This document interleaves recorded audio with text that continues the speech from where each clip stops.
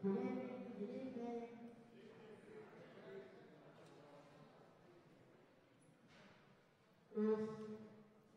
I can get somebody to help me with the acoustics, that's, I would appreciate. Um, if you are a board member, uh, and you have not signed in, please make sure that you do so. Community members that are present that would like to, uh, speak, you have to sign in at the table in the back. Um, and if it's okay with everyone else, we would like to begin opening our meeting so that we can get this, um, uh, get through our agenda, get a chance for the public to, uh, have its say, and then the board members to arrive, and we can be able to actually have some of our board business conducted tonight as well. So if it's all right with everybody, uh, can I begin? Yes. All right. Good evening. Good evening. It is a good evening. Am I right? Yes. It is a beautiful night here in East New York, and I want to open the meeting uh, and welcome each and every one of you to tonight's meeting. My name is Andre T. Mitchell. I am the proud chairman for Community Board 5, and on behalf of our community boards, board's membership, our district office team in the back, our elected officials, I want to welcome each and every one of you to tonight's general member meeting. Let's clap it up. Let's see if we can do something like that. Clap it up. Yes. We are really, really proud and thankful to be holding our meeting here tonight at the Penn Wortman Community Center, where we have been honored to meet residents of this beautiful housing development and community and they have welcomed, welcomed us into their neighborhood for a night. One of the mothers said, just don't make too much noise, because she got to get up in the morning. but understandable, so we're going to be able to just come in respectfully. We want to be able to invite the public in from people who live in the area. We have been on tour. Our board has been on tour throughout our entire district.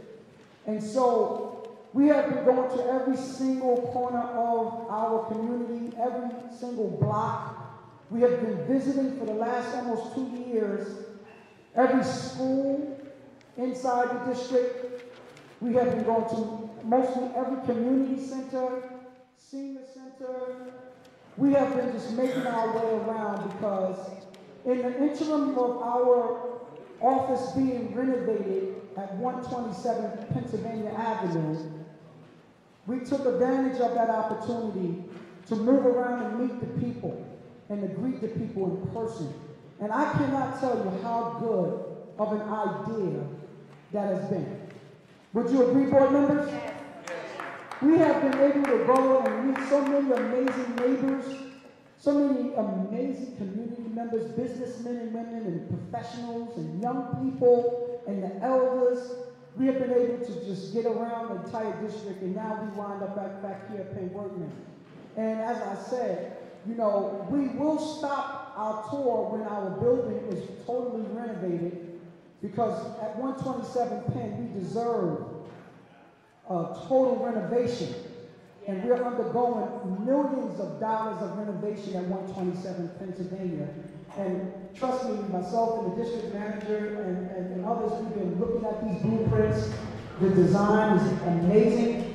And when we move back into that building, we should all be proud to be in Community Board 5.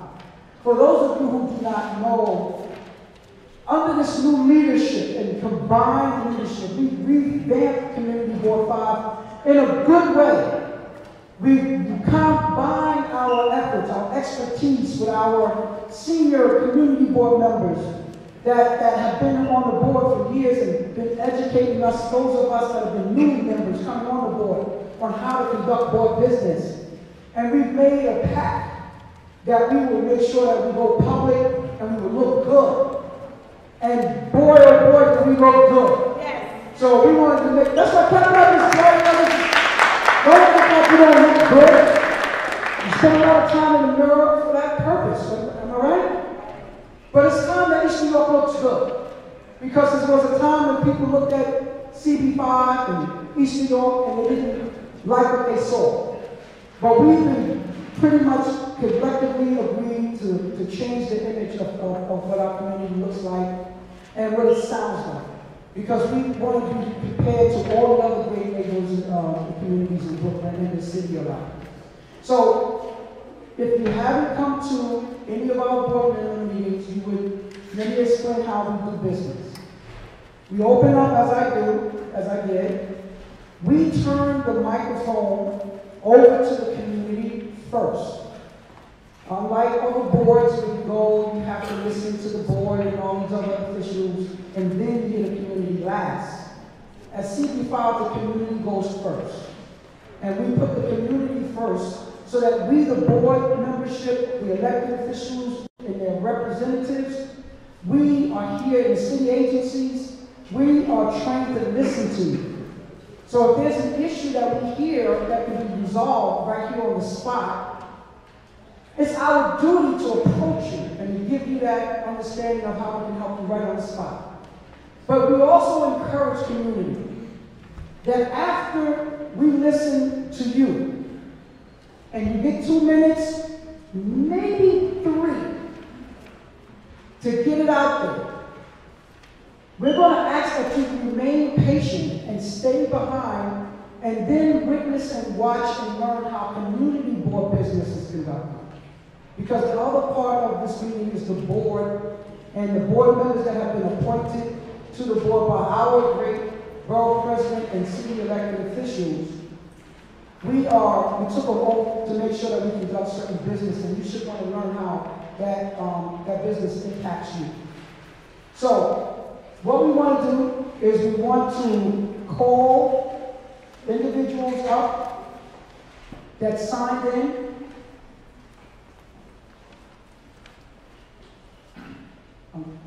We don't, we definitely want to make camera. Where my man, I'm my man, my brother Murray. Come on up here, please, and give us a welcoming statement from the brothers and sisters of Campbell Hour and Party Partners here. We really appreciate it. Give you this mic. Go ahead.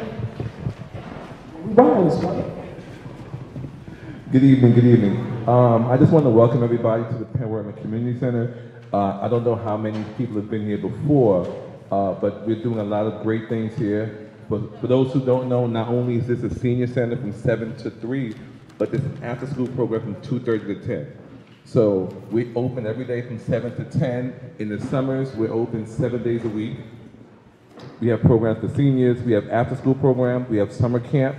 We have holiday camp programs. All the services are free. So if you have kids who are in high school who need community service, they need to be a part of a youth service, a youth leadership group, we have that. Uh, if you have young people or parents who are looking to, to get in shape or learn a trade or a skill or use computers, we have access to it. So we just want you to, we want to thank you for coming out and just enjoy the meeting. Have a good day. So I want that instead of people having to come up, I want, if there's somebody from the board or somebody that can give the microphone to the person who signed up, and that way we, we can limit a lot of the, the movement. Yeah, you signed in already? Yeah, so I just want to ask Brother Karan, we'll call a name and you can get them this microphone, please. Thank you.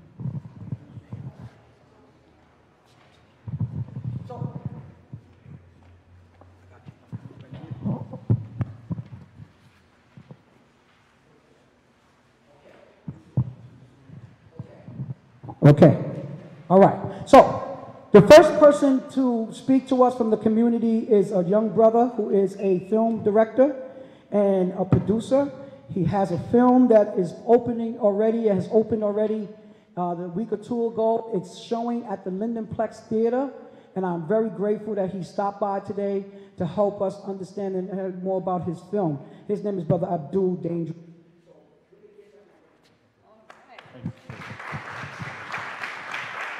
Thank you.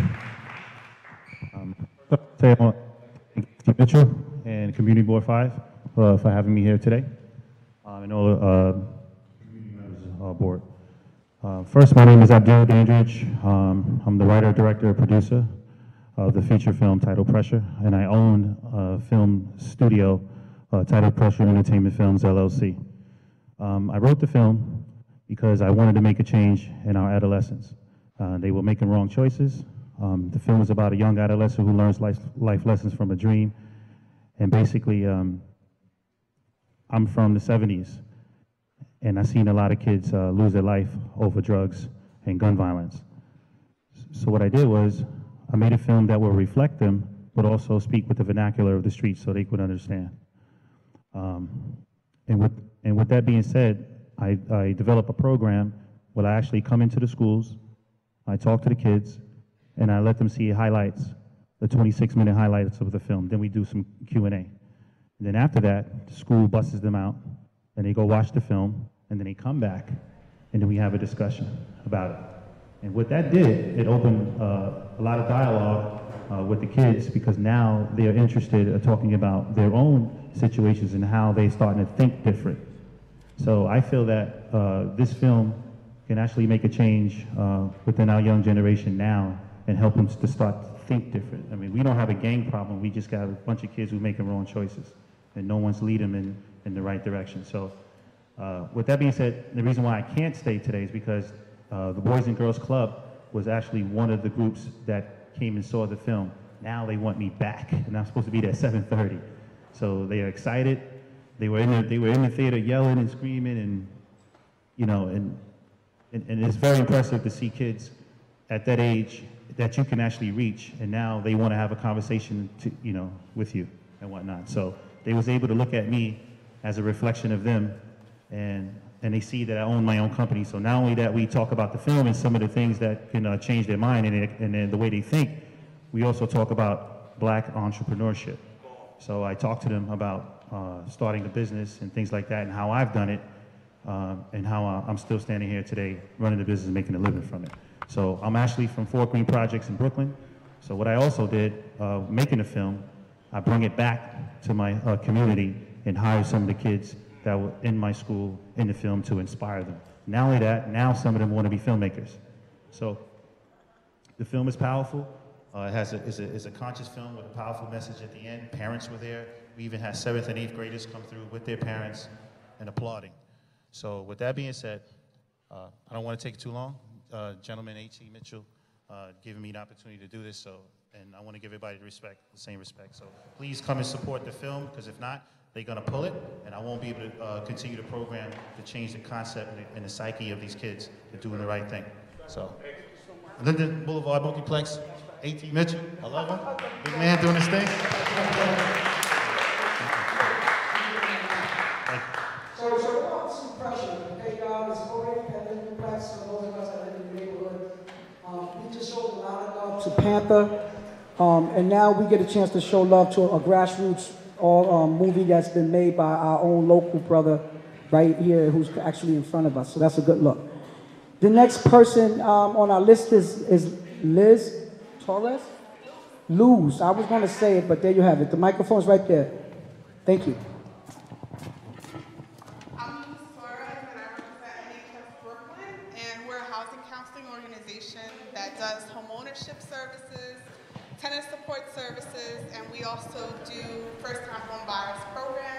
And I just wanted to let you guys know that we have a, an event coming up in the neighborhood. Um, it's called the Housing Help Open House at Elton. Uh, it's actually the East New York. Uh, but 1159 East New York Restoration. Yes, that's, that's the location. And it's at 1159 Elton Street. Um, we also have insurance review every month. Um, we have two locations they go on, um, we have a location in East Flatbush and we have a location in Canarsie. I also left some flyers of any upcoming events that we have going on. Um, and feel free to grab some stuff. Uh, and we're here to help you guys. Well, come on in. Okay. Thank you, Luz. Next is Miss Mitchell. Miss Mitchell?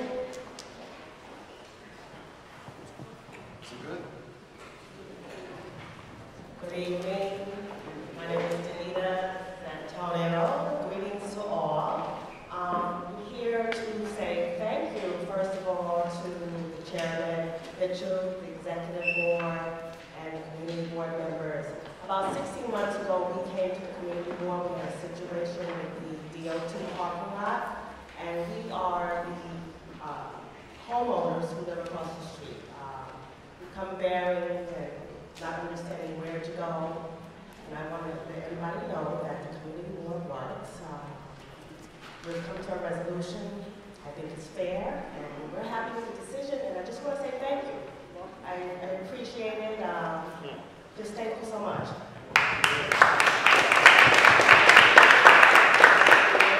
All right, on behalf of all of, our neighbors at Elder Lane, thank you. You're welcome. You're welcome. Thank you.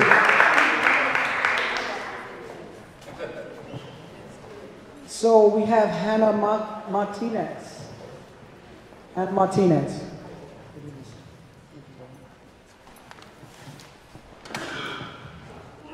Hi everyone, thank you so much for having me. Uh, my name is Hannah from Grow NYC, and I'm here with my colleague Michael Reeser over there. Um, you may remember me from uh, a couple of months ago. I did a recycling presentation um, for uh, American Recycling Stick. Anybody? Um. Um, so I just wanted to uh, remind those who already know about us and those who don't know about us um, to tell you about some of our programming. We do everything um, recycling and zero waste related to educate residents um, to keep waste out of landfills. Um, one of the ways we do that is we host stop and swap events. And um, there's actually in this um, booklet over on the back table, you can see we have a stop and swap event coming up at um, Brooklyn Borough Hall Plaza on Thursday, April 19th. And what this is is a free um, community exchange of, you know, uh, clothing, books, toys, anything portable and reusable. Um, so a great way to keep things out of landfills and take something home for free. Um, we also do tabling, um, be it at community events, uh, where we play a fun recycling game, which was um, what I did last time at the America Recycle Days meeting. Um, we do presentations, and if you're if you're organizing community events, we're happy to assist you in um, having recycling at your events. Um, so we have education resources for that as well. Um, for those who are NYCHA residents, right? So anyone who lives at Penn um, we have a program specifically for. Whoop, I need an. I put this here. Um, for public housing residents to educate their neighbors about recycling, right? As much as we love to come out and educate, um, it's the message is um, so much more poignant when it's coming from someone who is your neighbor, someone who you know and you have a relationship with. Um, and basically, um, the resident would attend two educational workshops where they would be trained on how to do community outreach and then complete 12 hours of outreach at their development or at a, another NYCHA development. And um, we currently have um, funding to offer a $100 gift card to those who participate in that program. So it's a great um, resource, and you can grab a card. Um, if you're interested in working with us as a community organization, as a volunteer, whatever it may be, um, we have a um, newsletter sign in sheet. Um, I have some of my business cards is there, but I'm going to be around um, after the meeting, so you're, um, you know, please find me and talk to me if you want to discuss any ways that we can collaborate. Uh, I'm done. Okay. Okay. No problem.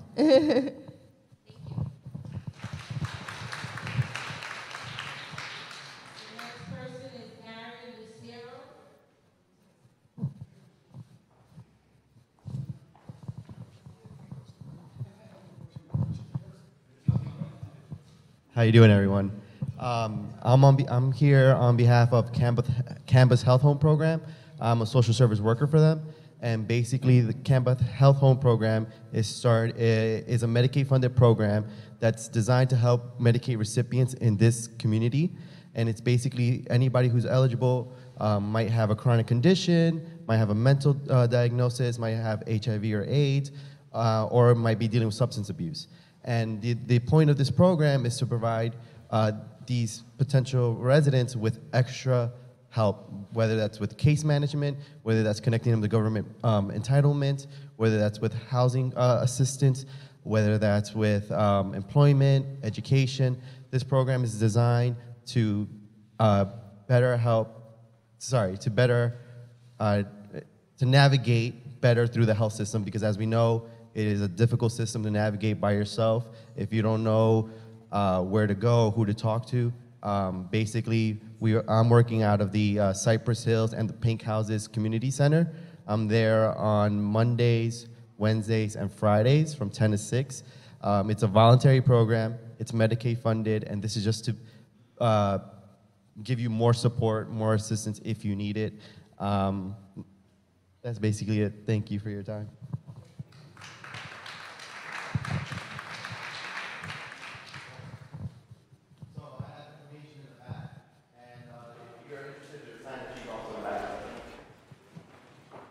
Siddiqui Salgado. All right, good, good evening, everyone. My name is Siddiqui Savadogo, and um, I'm a community outreach and recruitment specialist at Mentor New York. So, Mentor New York is a nonprofit um, organization that provides mentorship opportunity for kids in our communities. So, we work with schools and community-based organizations to help them create like a mentoring program. So, we also recruit mentors for uh, existing mentoring program as well. As you know, our young adults um, are struggling a lot with uh, with issues in our community. And with that being said, I commend our uh, like a sister organization, ManUp, who is actually involved in helping those kids, uh, taking them out of the street. So these are all great work. So for those who are interested in becoming a mentor, uh, it can that person can um, see me afterwards. We can, we can talk and discuss further. Thank you.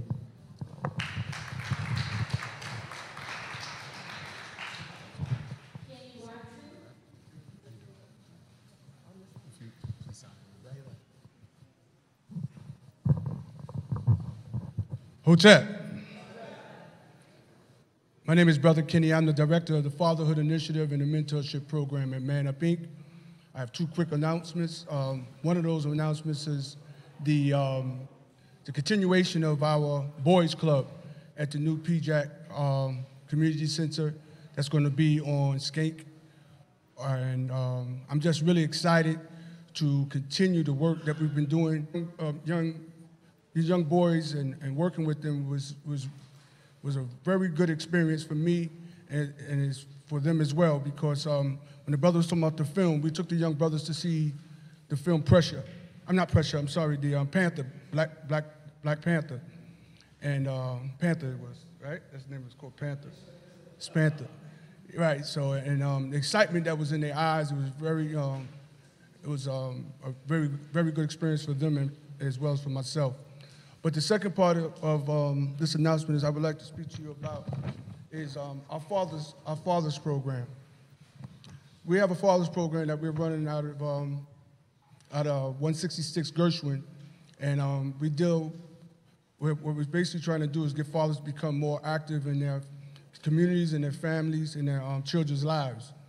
Um, one of the projects that we're working on is called the Wounded Fathers Project. Project, and we're basically trying to just have fathers deal with some of the um, some of the uh, issues of dealing with violence. So this week we have a, a forum with Brother Kevin Powell, and it's um, violence against women. So um, anyone who might, might be interested in coming to, to uh, join us and um, find out some information and try to um, just find out what you can um, learn from from uh, Brother Powell, from you know from some of the things that he's been uh, pretty much uh, been doing the work he's been doing. I don't know if you, you know about Kevin Powell, but he's been doing a lot of phenomenal work with um, domestic violence. And uh, that's one of the things we've been working on is um, domestic violence because that's been like one of the main uh, issues that um, the courts has been dealing with. DV has been growing, and we're trying to uh, uh, kind of uh, deal with some of the DV issues that we're dealing with in our, in our community. It's a um, big rise. It got so big that they even started a whole new department in the courts for just DV alone. So um, a lot of us are affected by violence, and we we, we just are walking around every day like it's like it's nothing. But um, it is um, affecting us, and we just need more men and um, some of our boys to come out and try to get some some some of these services and um, some support on trying to make us well again. Like I said, I'm, I am the director of the Fatherhood Initiative, and I'm not just the president, I'm also the client. So, so, you know, like I said, we all have our issues. There's no perfect way of being a father. It's, um, it's always constantly, constantly growing and, um, and evolving. So um, I'm looking for your support as men and fathers in the community to step up and just really um, just get better, because we need our men in our community. All right? Thank you.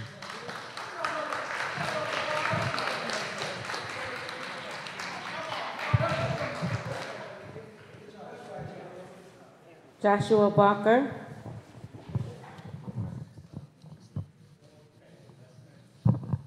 Good evening. Um, how many of you guys think that East New York is a little bit dirty?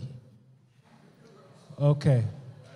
So um, on Monday, April 9th, at 333 New Lots Avenue, we're having our first sanitation and Enve- environmental town hall meeting.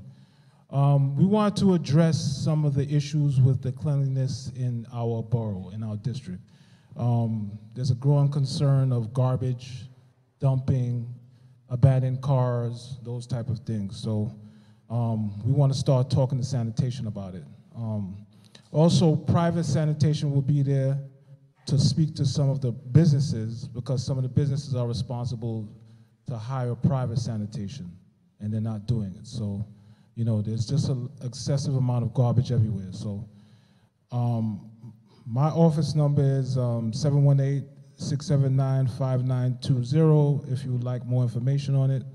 Um, once again, the address is 333 New Lots Avenue.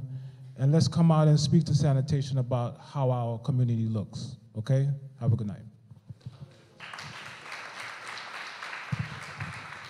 Benita McCray.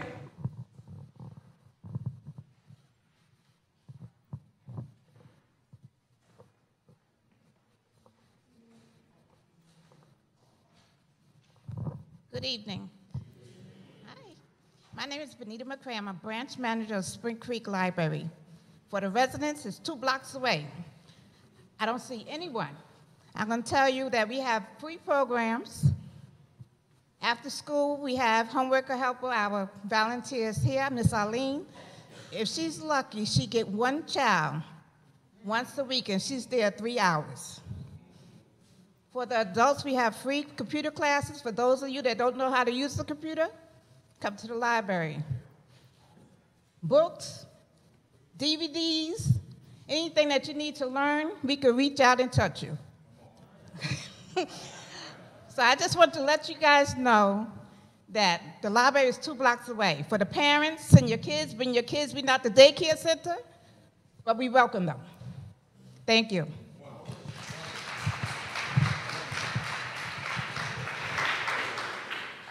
Kareem Ne- Neely.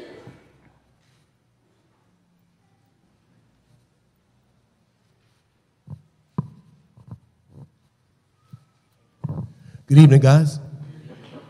Excuse me. My name is uh, Kareem Nemley. I'm the founder and artistic director of Rooted Theater Company right here in East New York, our very own. Um, I want to let you know that we are putting on our second production thanks to the community board last year for their assistance and their help with our first production of A Lesson Before Dying. This June 1st, 2nd, and 3rd, we'll be putting on For Colored Girls Who Have Considered Suicide When a Rainbow Is Enough. It will be held at 534 Livonia Avenue at Arts East New York. And here's the kicker the tickets are free. All you have to do is grab a flyer from the back and reserve your seats. That's all we ask for you to do. At the end of every show, we have a talk back where we uh, discuss the show and discuss uh, how it relates to you and the community and et cetera.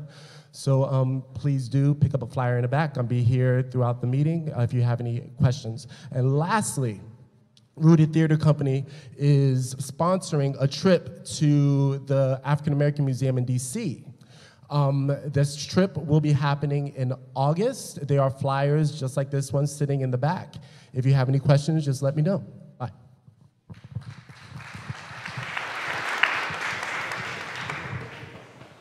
Ben Jong.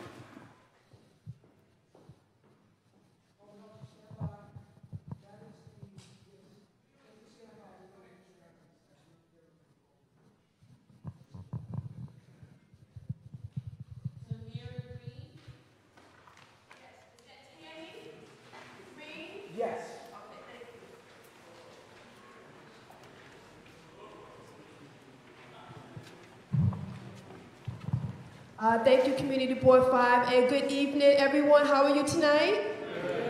My name is Tammy Green, and I'm representing Pro Fitness One on One in collaboration with Cornerstone Seventh day Adventist Church. And to the sister that spoke, that worked for the library, yes, knowledge is power, and health is your. Yes, so much. So, no matter what we do, whether we're teachers, whether we're doctors, lawyers, mothers, students, we have to invest in our health. And if we don't have that, we can't do any of this great work that we're doing. Uh, we're only as strong as the community that unites and implement what is right for our families and for everyone that is here from all ethnic backgrounds. And this is why it's important that we uh, represent what health and fitness is all about and wellness what we're doing. Even though spring has come in with a wintry blizzard, spring is here now, and so we have to shift gears and get on the right track. So, without further ado, I want everyone to stand to their feet right now, put down them papers, and stand to your feet right now. Let's go. You only got two seconds. One, two, stand up. Put them arms up in the air. Reach up high. All right, and we're going to press it up like this. Watch me. And one, two, let me hear you count. Four, I can't hear you. Come on. Push it up. Push it up. Push it up. Push it up. I want you to sit down in that chair and get right back up 10 times for me. So we're going to sit it down. All right, listen, listen. I'll, I'll save that for when. All right, calm down. When you come to class, right now, Pro Fitness 101, I'm from the north side. This is the south side, right? I'm from the north side, Highland, Highland Park. But we all East New York. I just want to let you. Oh, y'all better stop it. All in East New York. So we're doing our spring fit classes, Highland Park, Monday, Tuesdays, and Thursdays, 6 a.m. and 6 p.m. Sundays at 10 a.m. We're going to do exercise. We're going to talk about detox programs. We're going to do fun fit run programs, walking programs. We also want to bring this program over to this side as well. So I'm going to be in the back. Come sign in. We'll come to your organization, we'll come to your community center, we'll come to your park, and we'll find a program that fits right with you. Remember, invest in your wealth. One more quick thing I want to talk about on the side where I am, Highland Boulevard. The area is changing all over East New York.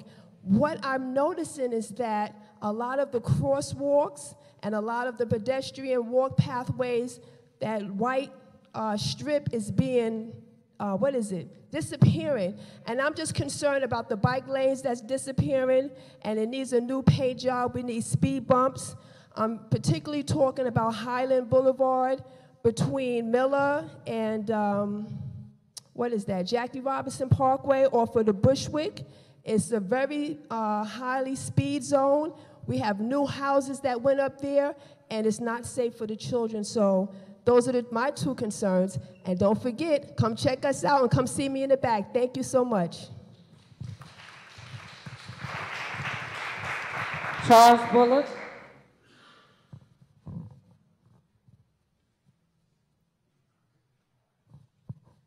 Good evening, everyone.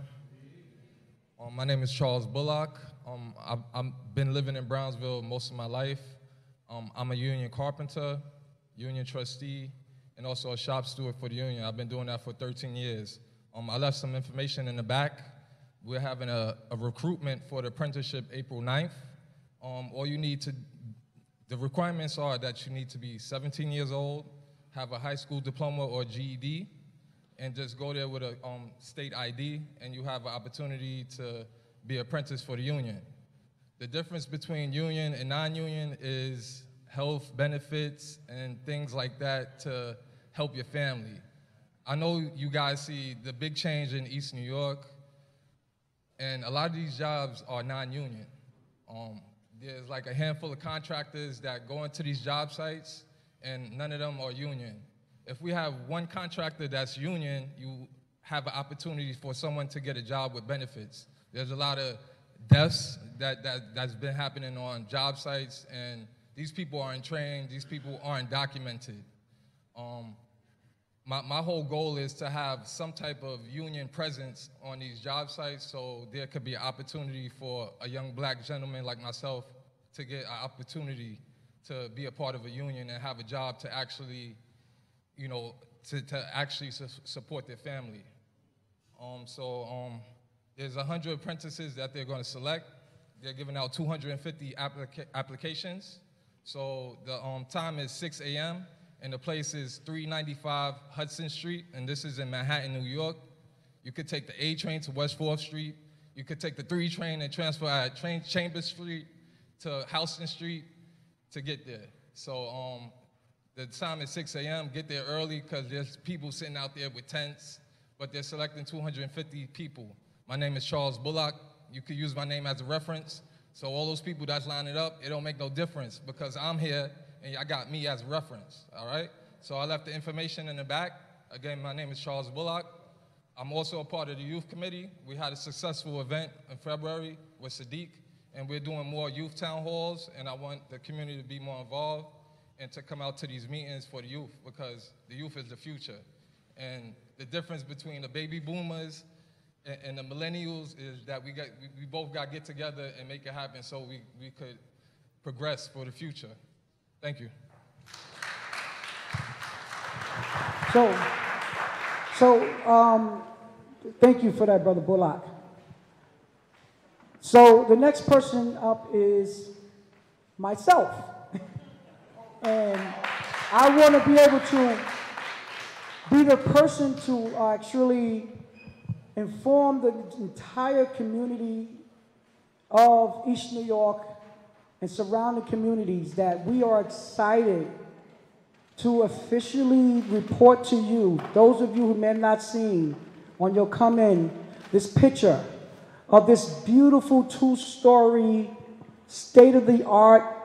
state of the art, multi million dollar community center that has been named the Prince Josh Avitto's Community Center. It's on Prince Joshua Avitto Way, also known as Schenck Avenue. And I am here tonight to let you know that we have officially, along with our partnership, Man Up Inc. and Good Shepherd Services, have been, the building has been turned over to us, the community. And now we are excited to let you know that as of April 9th, which is two Mondays from now, we are going to be opening our doors of the Prince Joshua Avitto Community Center for the very first time. There were flyers in the seats, and so there's a lot of things that we have planned um, that's going to happen out of this community center. We are excited. It's been about two and a half years in the making, and we are ecstatic. But we want the community to know that this is their building and that we want you to use it. It's not a NYCHA community center. It's a community center for real. It's not a north side or a south side community center. It's a community center for all. And so the ninth we're going to be opening. It's a soft opening, meaning that we just want to. I don't want to. We don't want to keep the doors locked anymore. We want you all to come in. We want your spirits and your bodies to be in there. And if you haven't been paying attention, the trial for Prince Joshua Avitto has been underway for the last two weeks. And so hopefully uh, a verdict will be rendered sometime very soon. And the families of not just Prince Joshua, but Michaela Capers and, and uh, the young sister Copeland, who was also um, unfortunately, you know, killed around that same time, um, they will get some sort of closure to what happened to their loved ones in that elevator on Schenck Avenue now four years ago. And it would not be, I think it's, it's going to be even more of us up to be able to, to show out of a negative situation, something positive can come about. And the Prince Joshua Avitto Community Center is going to be that positive place and space for young people to come and enjoy all spring, summer, and forever long.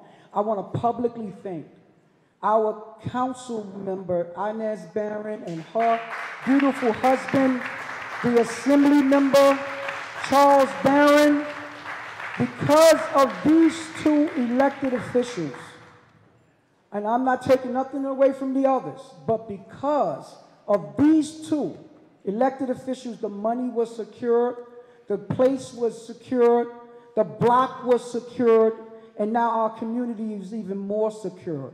And so you should call them up and thank them and let them know that we are appreciative for the work that they put in to make this center a reality. It is finally here, April 9th. Like uh, Brother Kenny was telling you about the Boys Club and all the other great services that we're going to be doing, Man Up Inc. and Good Ser- Services as of next month. I just wanted to let you all see this and know that publicly. Thank you. I also want to let everybody know that you see the cameras. I forgot to talk about it in the beginning, but we want to thank WNET.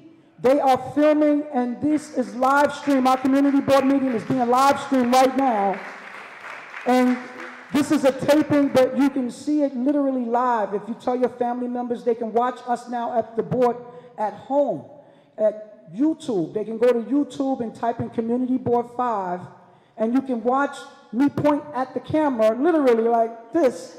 Right now, they can watch the community board and be present at the community board meeting as well. So we want to thank WNET, Councilmember Rafael Espinal, for helping secure the opportunity for them to be here.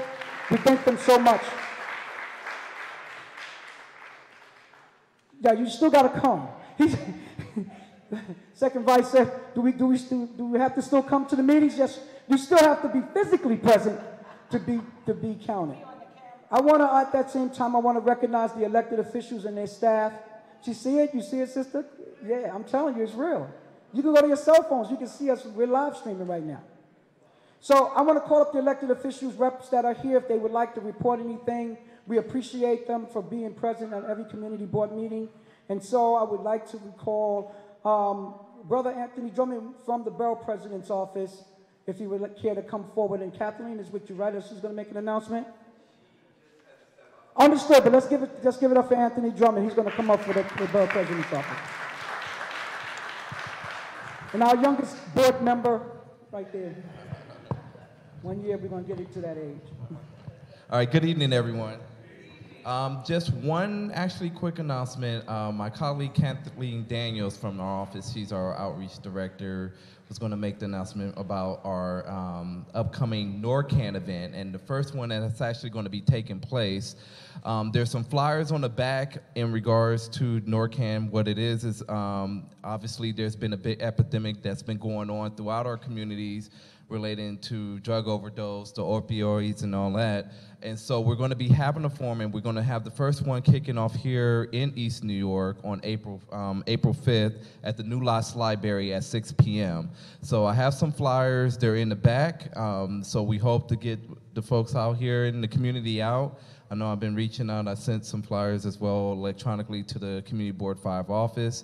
But we really want to get the community out um, and as many people as possible to attend this, as this has been a big concern and issue that's been going on. So that's my only announcement really to you all here. Thank you. Um, brother, father, Mel Faulkner from Assembly Member Charles Barron's office.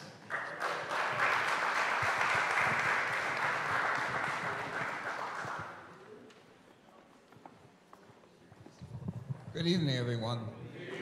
One important announcement tonight, okay? Do you know what's going to happen on April 3rd? Any idea? If you were not present at the uh, St. Paul's Community Baptist Church on the 12th, there were five, 600 people there.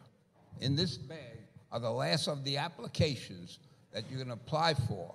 This is a full application kit. I've been giving this out over in Brownsville.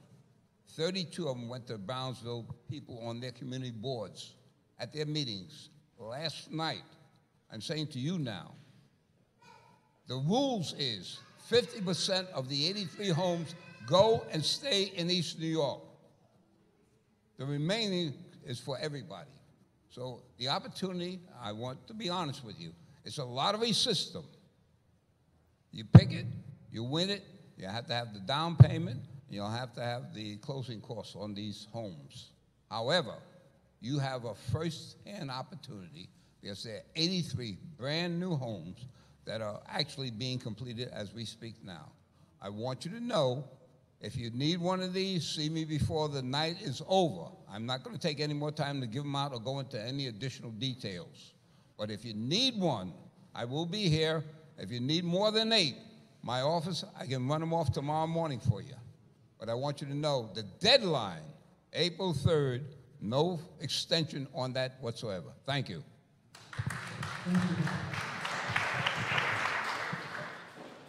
So, uh, Brother Latif Terrell from State Senator Roxanne Persaud's office. Brother Latif. Good evening, everyone. My name is Latif Terrell. I'm from Senator Persaud's district office. She sends her regards from Albany. I just have a, uh, couple quick updates. Uh, Saturday, April 7th, we have a rain barrel giveaway. Um, the flyer is, the, is uh, on the table in the back. If you're a homeowner, you can get a free rain barrel from uh, DEP uh, from a partnership with her and Senator, uh, with them and Senator Persaud. Um, also, I have this college fair flyer.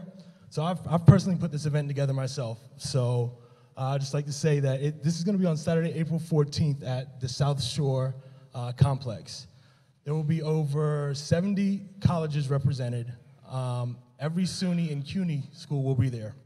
Uh, along with that, it's more than just a, a, college fair, it's also a resource fair. So there will be um, some, some jobs that will be offered, um, summer youth camp enrollment, and then I went out and found some organizations like Camp Brooklyn Fund that can provide financial aid for the summer youth camp uh, enrollment. So you can enroll your child and get the aid in the exact same place as well as um, I contacted the U.S. Department of Education. We'll have a rep coming down from Washington to do federal student aid. So they will be there to uh, walk uh, parents, youth alike, through the, the whole process of applying for financial aid, the grants, the scholarships, the eligibility. Um, so, and, and as well as that, also from the state aid, because there's two types of financial aid that you can receive when going to college. A lot of people don't realize this. They fill out the FAFSA they don't go after the state aid as well. Um, so if you're, if you're a resident of New York, there's also the Excelsior grant. You know, these things will be talked about. A lot of, we, a lot of our youth can be going to school for free. They just don't know that it's out there, and uh, they need help sometimes with the application. So I put together this college and resource fair. Uh, it's in partnership with Alan Maisel's office, um, Assemblywoman uh, Jamie Williams' office, and all of the schools at the South Shore campus. Uh, other than that, uh, I hope everyone has a good evening. If you have any questions, I'll be in the back. Thank you. From District Attorney Eric Allen Gonzalez's office, Brother Frangel Basora.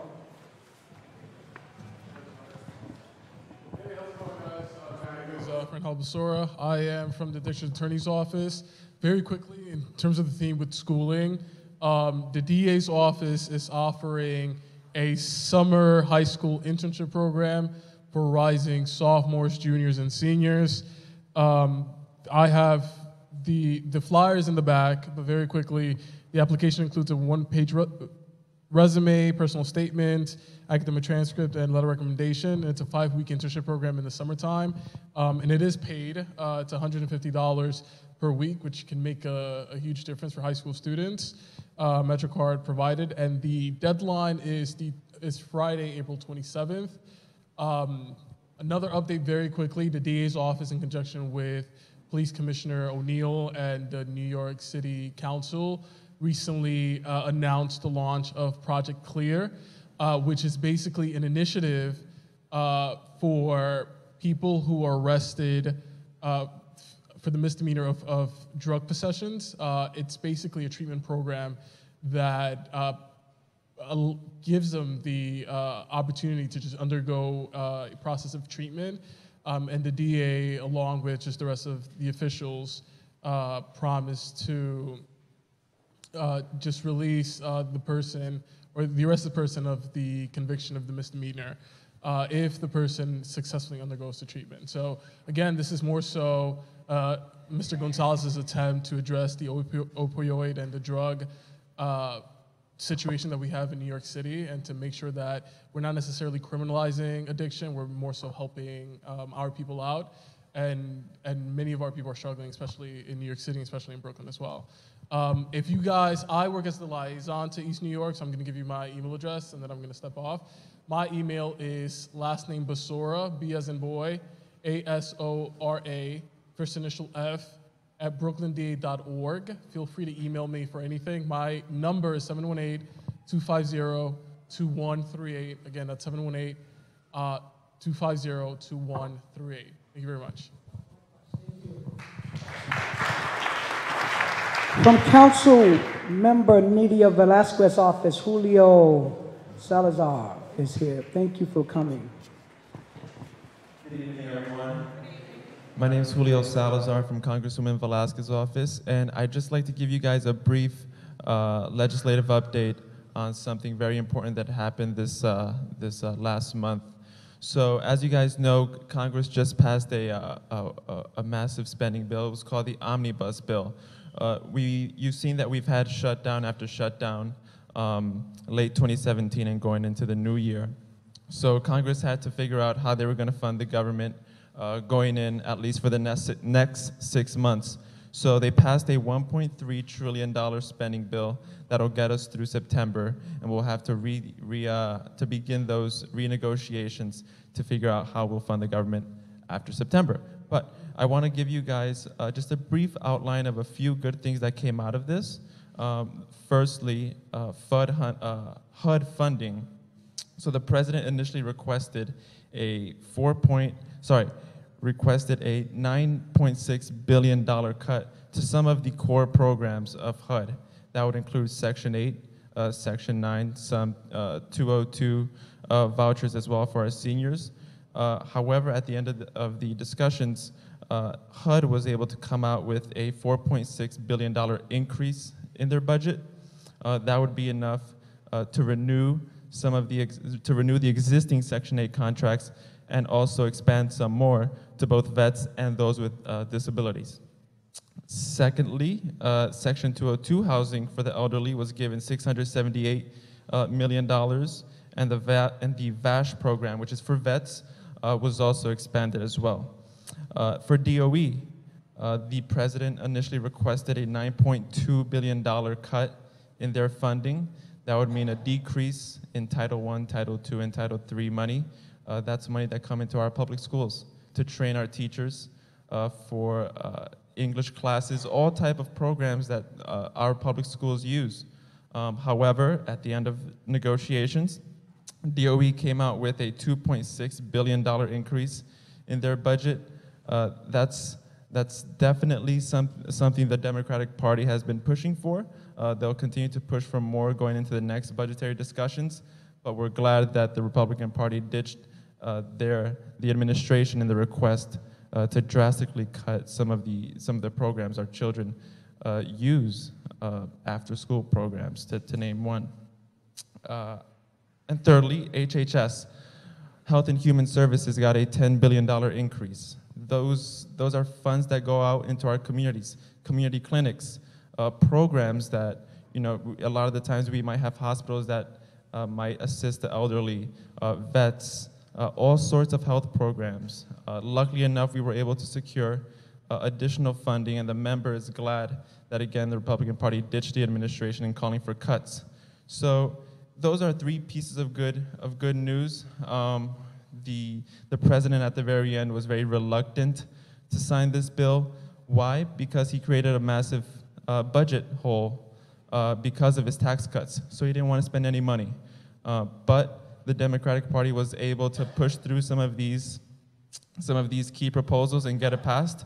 And the member is, is happy that both the, the New York delegation, especially uh, uh, Congressman Jeffries, that signed on to her letter calling for the administration to reconsider some of the cuts that he was proposing to, to HUD that would affect many of, uh, uh, of the people in Cypress Hills in our community across the district.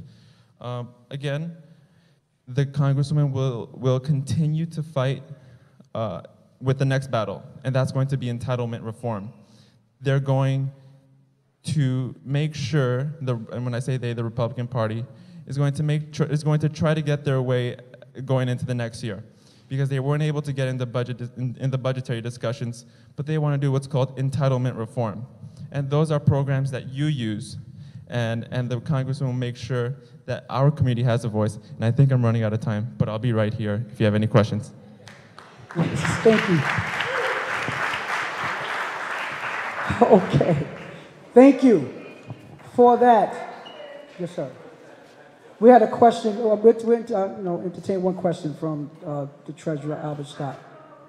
I'm sorry. We will entertain two questions, and but it is almost approaching a quarter to eight. I just want us to know that. So, go ahead. Um, Perhaps if you could share with our community board five district office, you spoke about the increase of X amount of billion, that's for approximately the United States, but we more specifically want to know how much that actually will reach East New York. Keep it hyper-local, so we said ten billion, but then I'm calculating in my head the different school districts or whatever the case may be. But I need hyper-local, hyper, hyper-local numbers. What does that mean for East New York specifically? I don't expect you to give me a number off the top, but if you can share that with the district, with our district office, and they can, um, share that information with, um, the community, that'd be very helpful. No, with, uh, may, I- may I ask a question? Be careful. Brief. So what I, what I'd like to say is that especially when it comes to schools and, and public housing, those are, uh, those are two things that are operated either by the city and the state. So a lot of the federal funding that comes down really ends up uh, uh, channeling down after, as we can tell, New York, the, the state is, is working out their budgetary, uh, their budget right now. So after they present their budget, we'll start to have a sense of what exactly is coming into our community. But overall, uh, but, but you're definitely right, and, and, I'll, uh, and I'll of course share that information with you. Board Member Plummer. My question is fiscal. Are we talking about the implementation of that budget July 1, October 1 to October 1 or July 1 of 2019? What's the fiscal year? And does the fact that it is a temporary stopgap means that it is, it is prorated based on that stopgap? Right. So again, like I said at the at the outset, we've been seeing shutdown after shutdown. I believe we had one in late 2017. So again, this really isn't a long-term spending bill by any means. Um, but again, the Republican Party decided that they wanted to fund the government up until September, and we're going to be in the same budgetary discussions again after September, trying to avoid a shutdown. So again, this isn't a long-term spending bill. Um, but it got us uh, further enough to have to not do this every two weeks or every three weeks. Um, but again, it, it, it's not a long-term spending bill. Okay. So I would definitely. Thank you so much for that. So anyone that, and we're going to ask if you can stick around so that at the end of the meeting, if any other questions that need to be asked of, of Congressmember Velázquez office rep, he will be here, right? Okay? With that said, I want to thank all of the elected officials, representatives that are present, that have spoken and given us information. I want to thank all of the community members who have spoken and has brought forth information. Hopefully, the general public, the community has been able to learn something and hear something that can hopefully be helpful to you and you can be able to spread that word also to your neighbors. Um, and with that, uh, I want to just officially, you know, let the community know that board members are, that we are at quorum. And so we can move our agenda uh, forward effectively. With that said, we do have a presentation this night from the uh, New York City Housing Preservation Department, uh, HPD, and Ms. Bingham, if you could come forward to give us your presentation, we'd be greatly appreciated.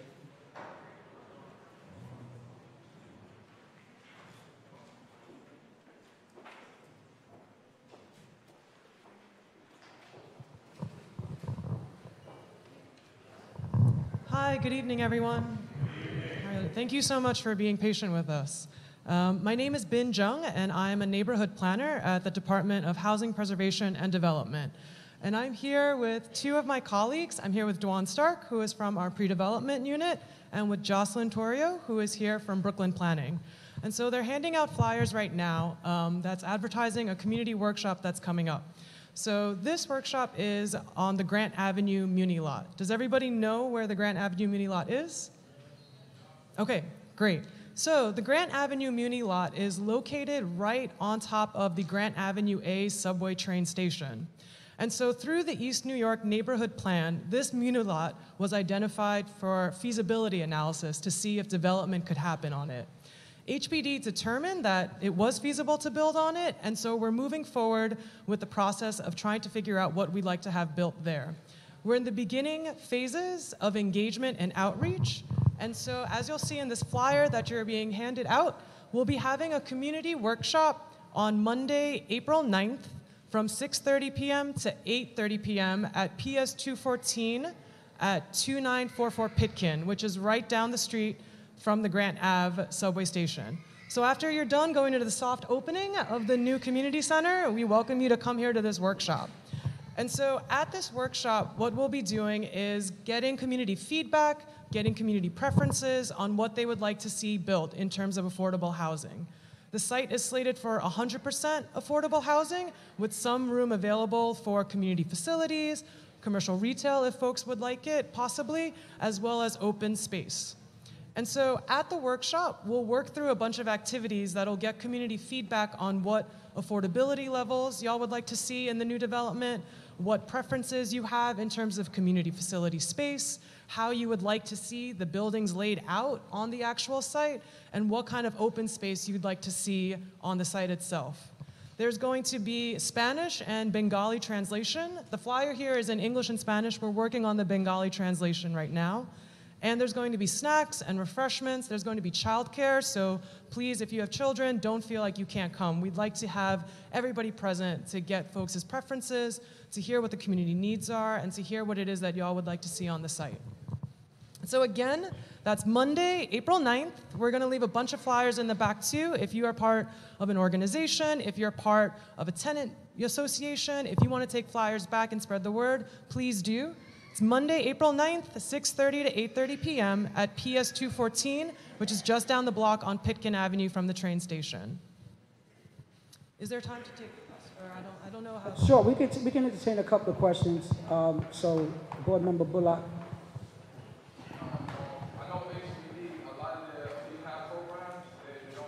union people there. Um, I just want you to know that you guys need to incorporate union and opportunities for local residents with HPD when y'all do this building, okay? Yes, that Thank you. Yes. So just for the record, so, so you guys understand, it's interesting that Ms. Mitchell um, and others, that they're talking about almost the same area where you all live.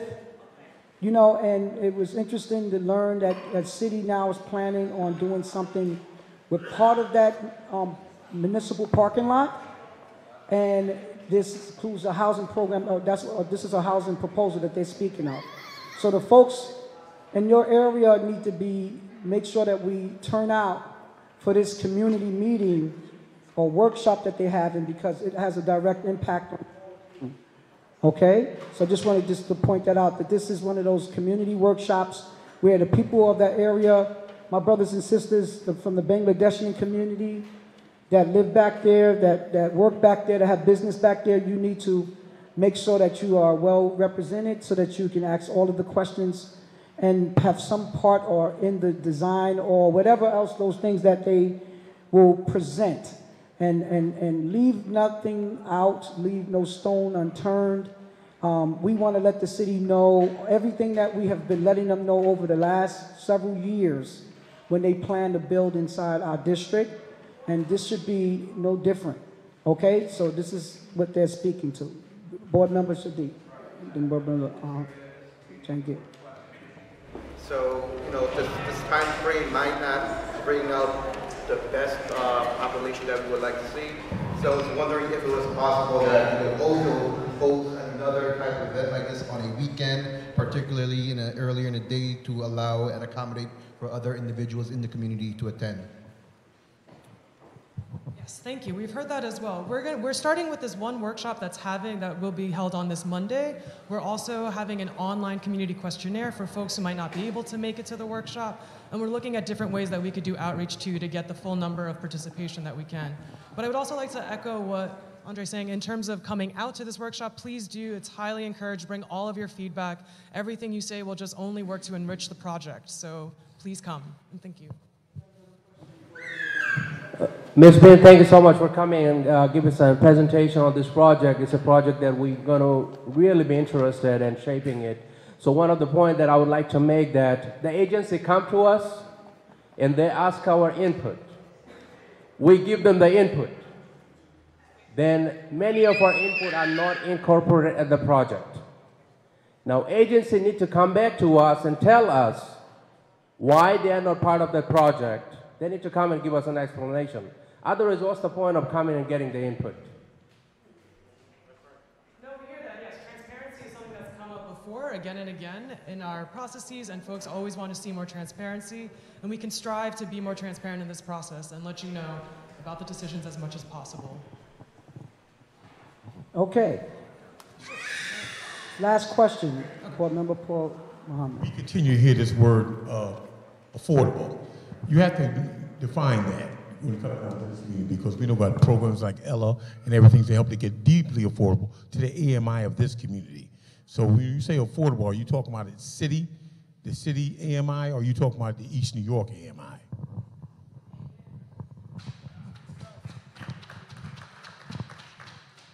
Yeah, so affordable for whom is a question that we hear again and again. And uh, HPD uses the federal, the HUD New York City AMI, which is the area median income.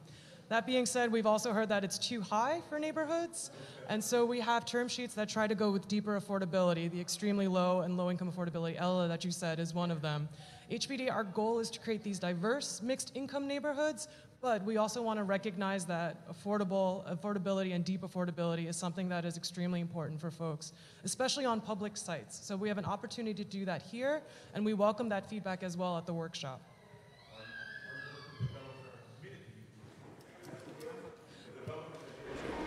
They committed to institute those programs?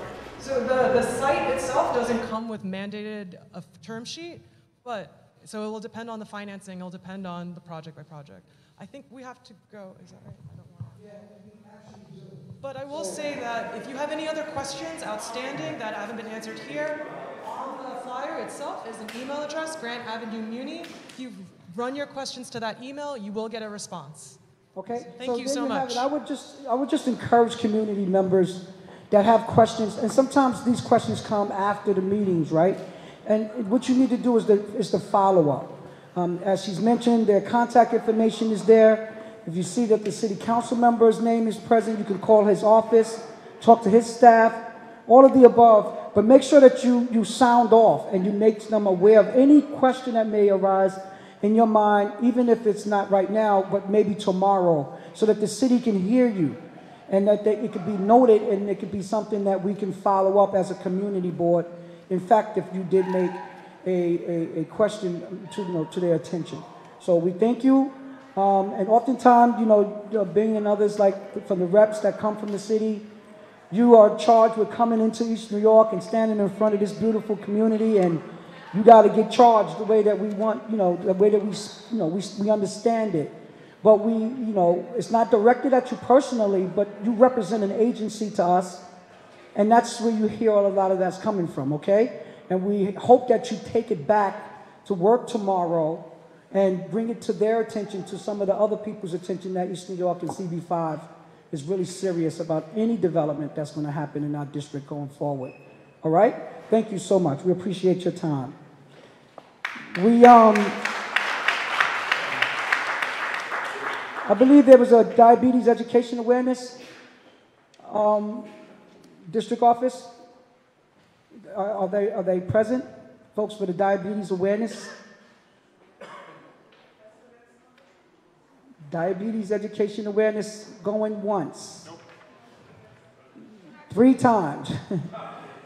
All right. Well, thank you so much for that. And again, general public, we appreciate you being patient and listening attentively to what's been happening. What we encourage you now to do is to remain in your seats. If you can, we want to run through our community board business um, and have several things um, conducted in front of you. It's a very educational opportunity for you to learn how community boards um, operate and their, their part that they play in the ULURP um, as an advisory board. And so during the segments going forward, unfortunately, we cannot allow for community to have any more input at this point unless I, the chair, feel strongly that you need to be heard and if it's according to or something that you hear being discussed. Outside of that, as we, the board members that are present, if you can just raise your hand so people can know that we have been sitting in and all around about you. You notice the board members' hands who are risen, they, they, they have been listening to you. And, and, and we have heard you loud and clear. Now it's respectfully asked of you to listen to us. Is that fair? All right, now. So, with that said, allow me to entertain um, board members. You all have the agenda. Um, so, I will entertain a motion to approve the, eight, uh, the March 28th agenda that's before you. It's made by Board Member Sadiq, it's second by Board Member Bright. All those members in favor say aye. Any um, um, objections? Abstentions? The ayes have it, so the agenda has been approved. Board members, you have been forwarded, I'm sure by email, um, a copy of last month's February min- minutes. I will entertain a motion to approve the February uh, 2018 minutes. Any board member would like to make a motion to approve? Board Member Riggins, and it is second by Board Member uh, Fisher. All those board members in favor say aye. Any objections? So the minutes from February have been approved. We now move on to committee reports.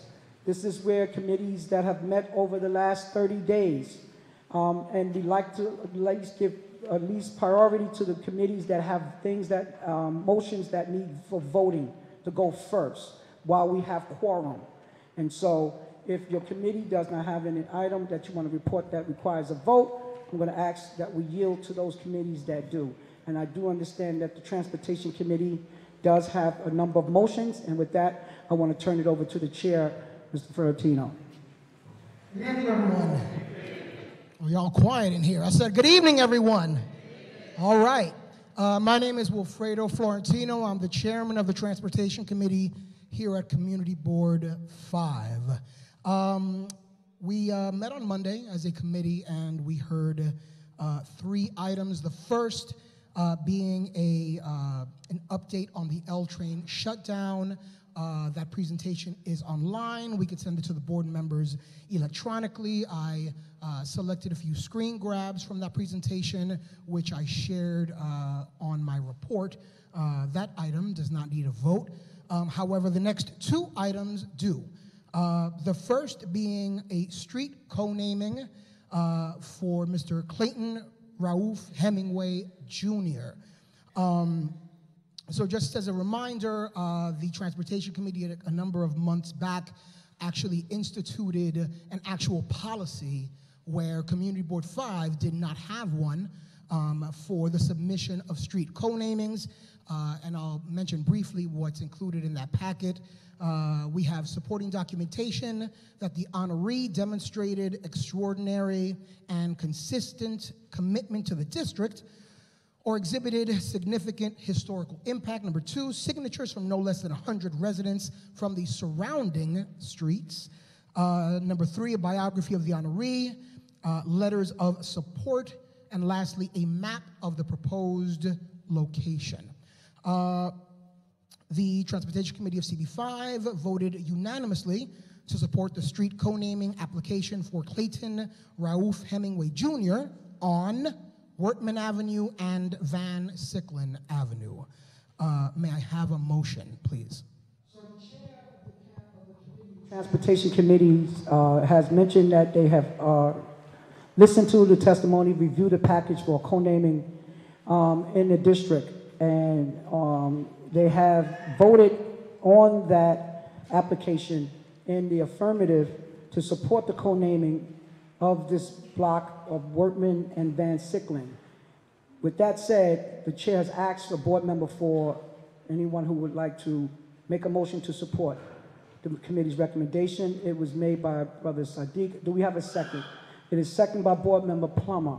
With that, I now open it if there's any board members that would like to speak to uh, this question of this co-naming of this young brother who was a 16-year-old who was unfortunately gunned down in our district, and his life was taken out very prematurely. His mother, his family, and the community at large has been, you know, just dealing with this trauma, trying to heal with this trauma. And so, if there's any board members, if there are no discussions on this motion, I would just move to vote.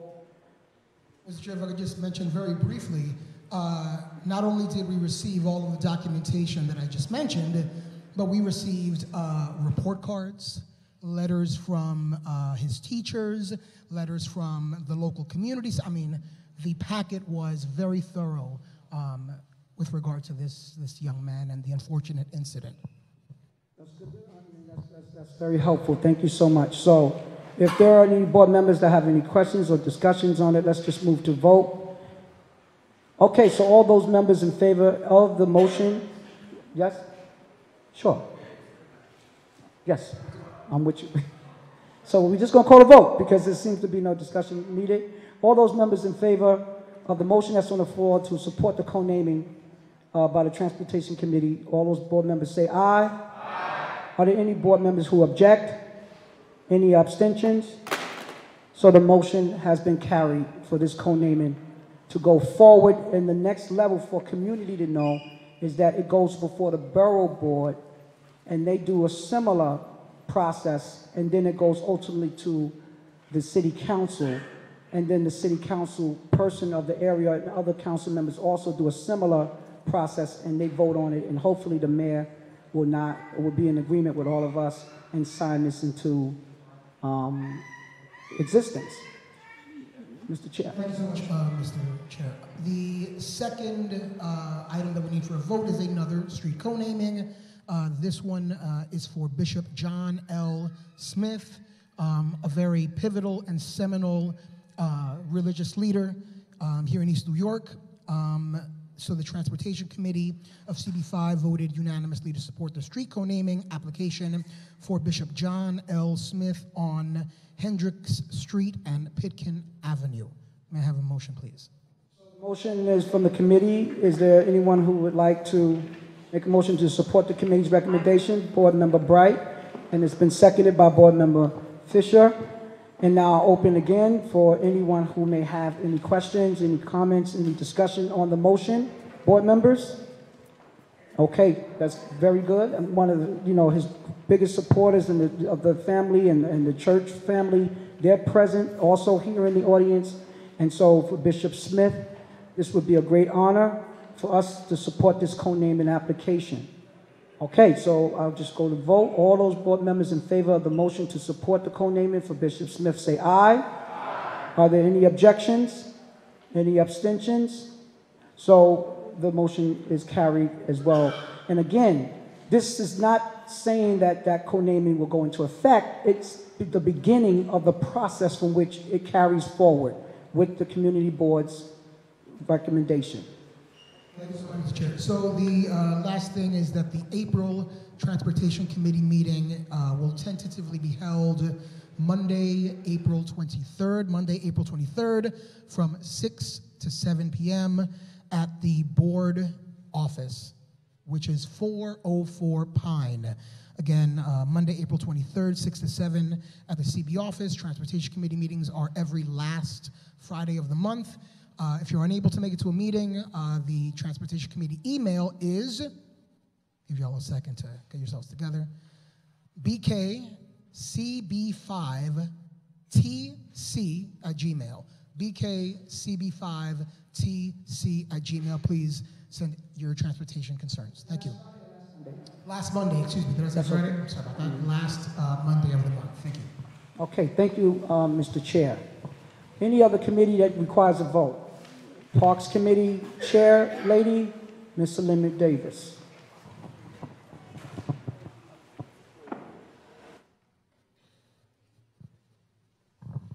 Greetings, everyone. Greetings. My name is Salima Davis. I'm your Parks Chair uh, for CB5. The Parks uh, Committee meets every second Thursday of the month, and put on my glasses here.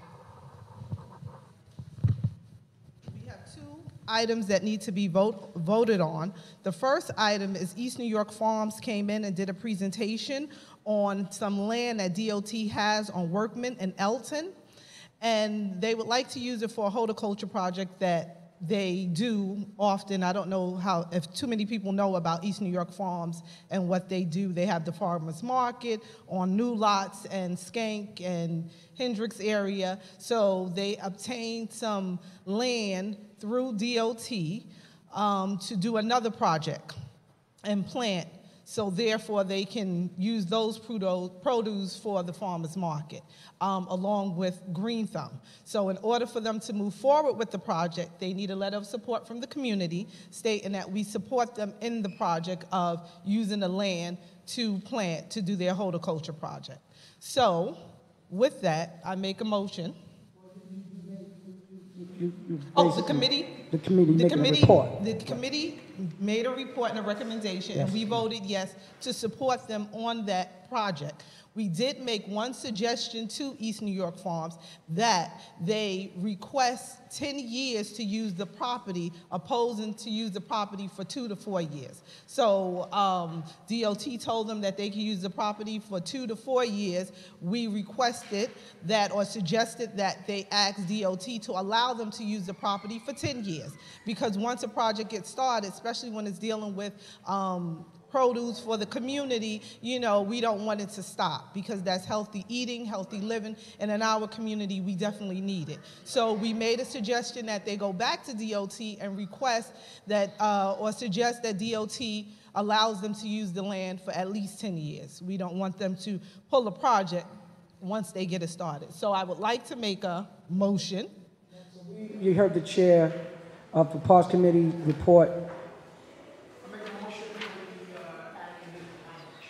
Right, adding the language to the letter of support as you described it relating to 10 years versus two to four years. Yes. And is any board members, is brother, uh, seconded by brother Sadiq?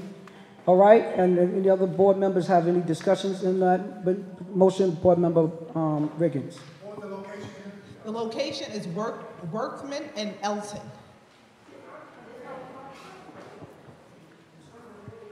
Board member Plummer? Right. I'm not clear. You're saying that you're going, the, the uh, group is going back to parks for 10 years. No, no, no, not going back for 10 years. DOT has the land now. Going, no, excuse me, going to DOT so that they could use the land for 10 years. Yes. What was DOT's response? Well, we don't know their response. The East New York farmers, they came to us and they gave the presentation and stated that DOT would allow them to use the land for two to four years. The, Let's say DOT says no that. Well, that's why we would like to, to. To the, to the board. no, that's why we would like to put a stipulation in the let, We'll speak just to that end, that the board's is in favor of it being for 10 years versus two to four years. Right. If in fact they, like you speak, and said if they get back and say no, then it's all bets. We, we don't support. we don't support it. Okay. We don't support it. That's why we put the, um, requested that they ask them for 10 years opposed to two to four years because we don't want them to pull the project. And it's actually Wortman and Autumn, Autumn. Okay, board member um, Dunn Holloway, board member. Yeah. Okay. All right, board member Loman. So, Need clarification on the location. Autumn, Autumn. so you're asking for a letter of support tonight? Yes. To send a letter? Yes. Stating that with these recommendations, we'll give you the letter. In that same letter, are you stating to them or saying to whomever that if we don't get the ten years, we're not gonna give the letter of support? Yes. That's why we, that's why we're putting a stipulation in there now. That's, that's what That spoke about opposed to two to four years that they came requesting for, we request as a community, they give them ten years. Because two to four years is a short period of time to do a, a horticulture project, especially if the produce are gonna go to farmer's market.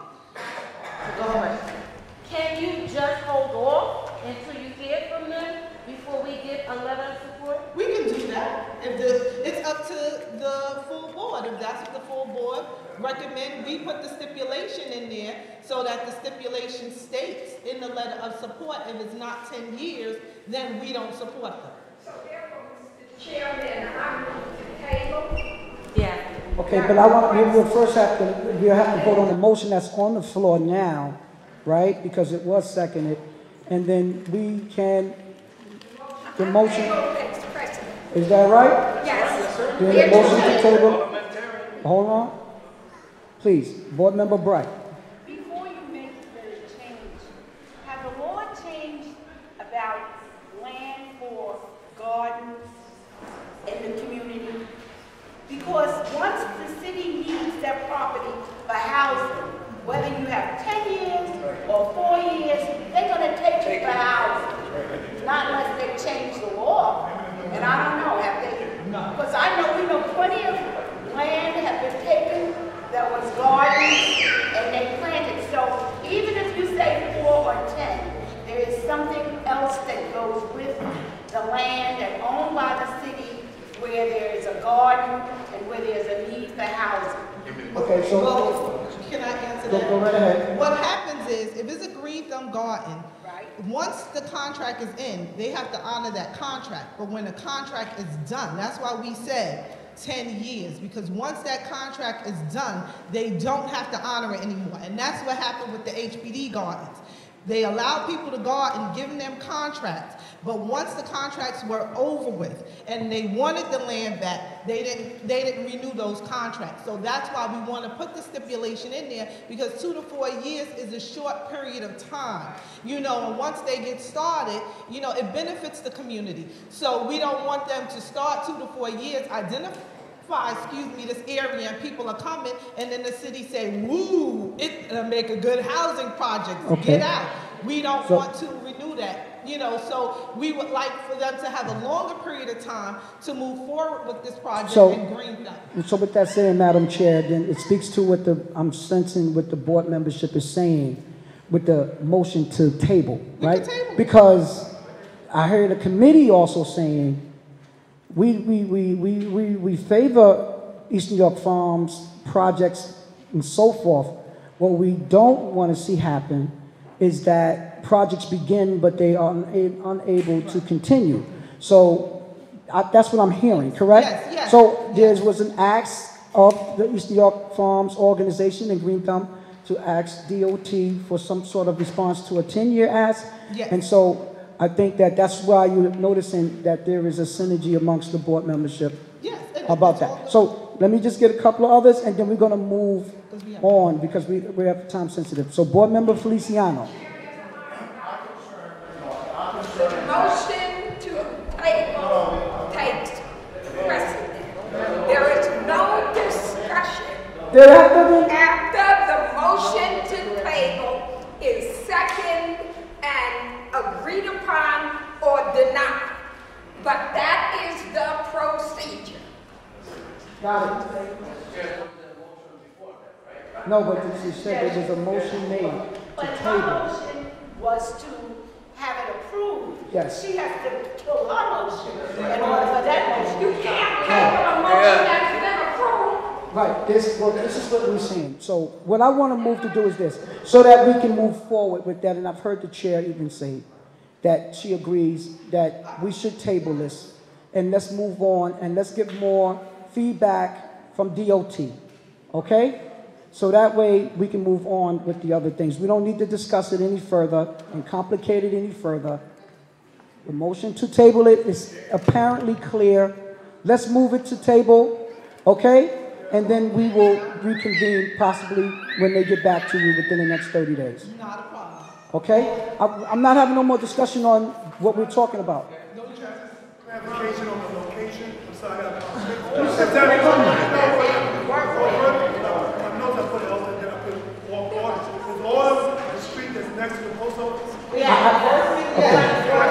got. I I I. I. So if you need any more clarification, you all, listen, Mr. Riggins, board member Riggins, respectfully, you could, you could talk to her. She, she got pictures and everything.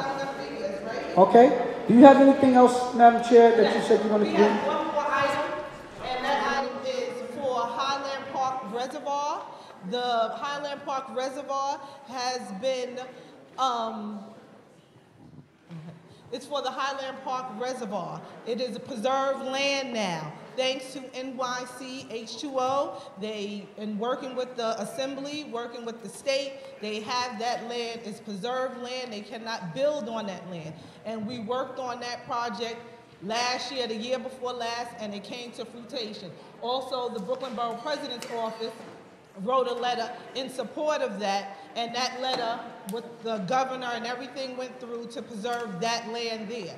Um, H2O would like to continue working with the reservoir. They also had DOT, thanks to our DOT chair, install a light there where now you can cross, which uh, you couldn't do before, and take students to A little bit of light motion, everybody. Let's not make too much motion and other discussions, please. We're doing board business, please. take students to uh, the reservoir for a trip. So they would like to remain the conduit for the Highland Park Reservoir. The committee voted that we agree that they should because they've done the work and they continue to do the work. They would like to beautify up there and make it a place for community and for tours, more tours for students. So we voted that we agree that they should remain the conduit for, with the Parks Department, for the Highland Park Reservoir. Okay, so that's the committee's report, and there was a motion. If there's one that Board Member Ramos will make the motion to support the committee's recommendation, is there a second by Board Member uh, Ms. Jarrett? Any discussion around H2O's recommendation to remain a conduit for the reservoir at Highland Park? Okay, so we can move on to vote. All those members in favor say aye. Are there any objections? Any abstentions? So the ayes have it. And- Ms. Plummer. A one abstention, Mother Plummer is abstaining, okay? So we have one abstention, okay? But the ayes have it, so the motion is carried to support uh, H2O. Yes, and April the 11th will be our next Parks Committee meeting at 6:30 at 404 Pine Street. You can call the Community Board office if you need any information about the Parks Committee, but I will be there and my co-chair, Ms. Kayla Madunga, as well. Thank you, thank you so much. Any other committee report, committee report? Any other committee met over the last 30 days met? No, it's not just a report, it's fine to give us a report. Uh, So Landis, committee chair, Viola Plummer. Okay? Followed by the Social Services and Health Committee and Public Safety Committee, third. This report, um, most of it is in your folder. But what I do want to bring to your attention was the presentation that was made to our committee by the two organizations that's named. And that that their presentation was on the question of Airbnb as illegal hotels in the city. What they pointed out was that presently the most saturated area for the B&Bs is Bed-Stuy. They said up next is East New York. So what we've done, what I've included in your packets, are those two. uh, one is a motion that they are putting forward against the expansion of the B&Bs.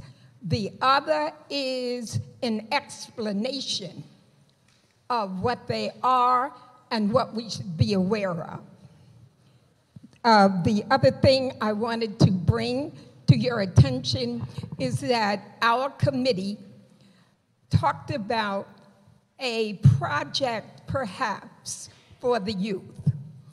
It was discussed that we should approach the uh, fast food restaurants in the main, but other very large businesses generally for a scholarship for young people.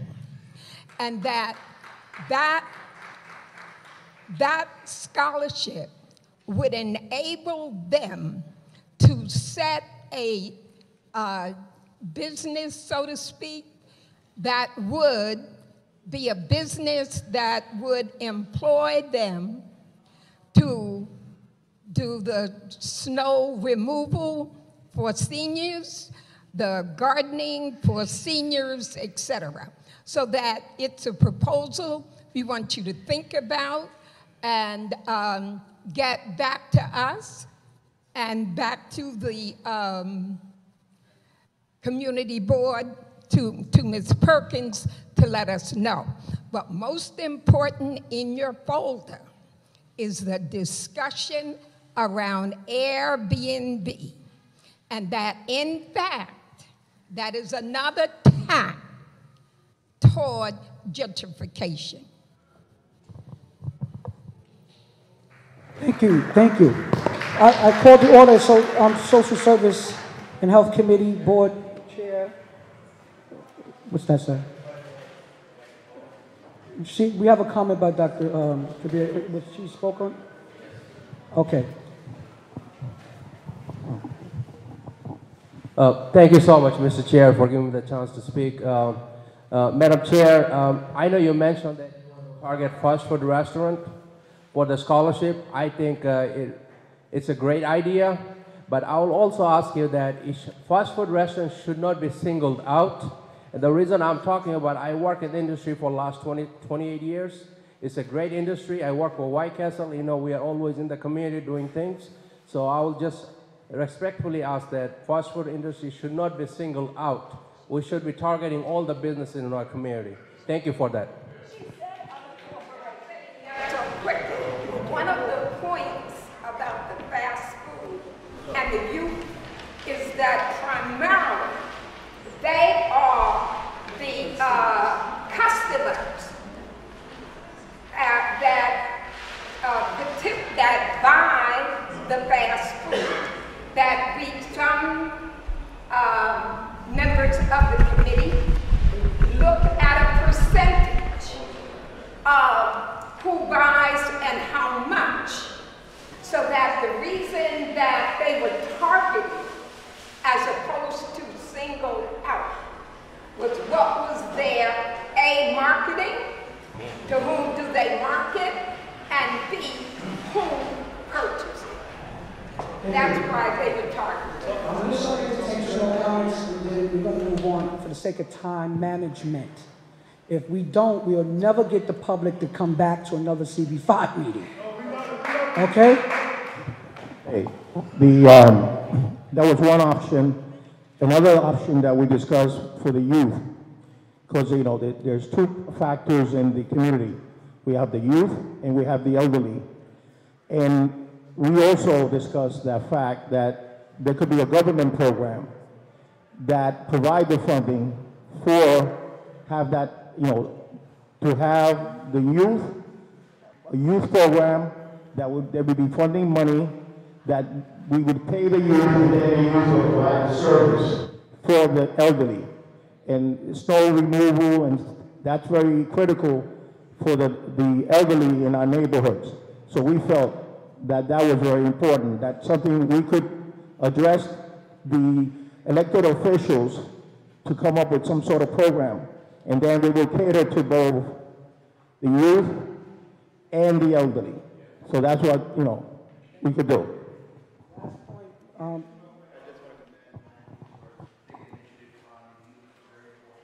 And of course, the youth committee is more than willing to support you in any way, so of course, we'll send members who have that conversation. Of course, we can build on that uh, discussion and consider some of the feedback mentioned and make it an even better initiative, make it more effective. So now we turn over to um, Madam Chair of our Social Service and the Health Committee, uh, Paulette Payne. Yes, thank you very much. Um, I'm very glad my co-chair is here. We were able to have a, a, a, a meeting Uh, we still are in need, uh, Chair, Mr. Chairperson, of some viable committee members.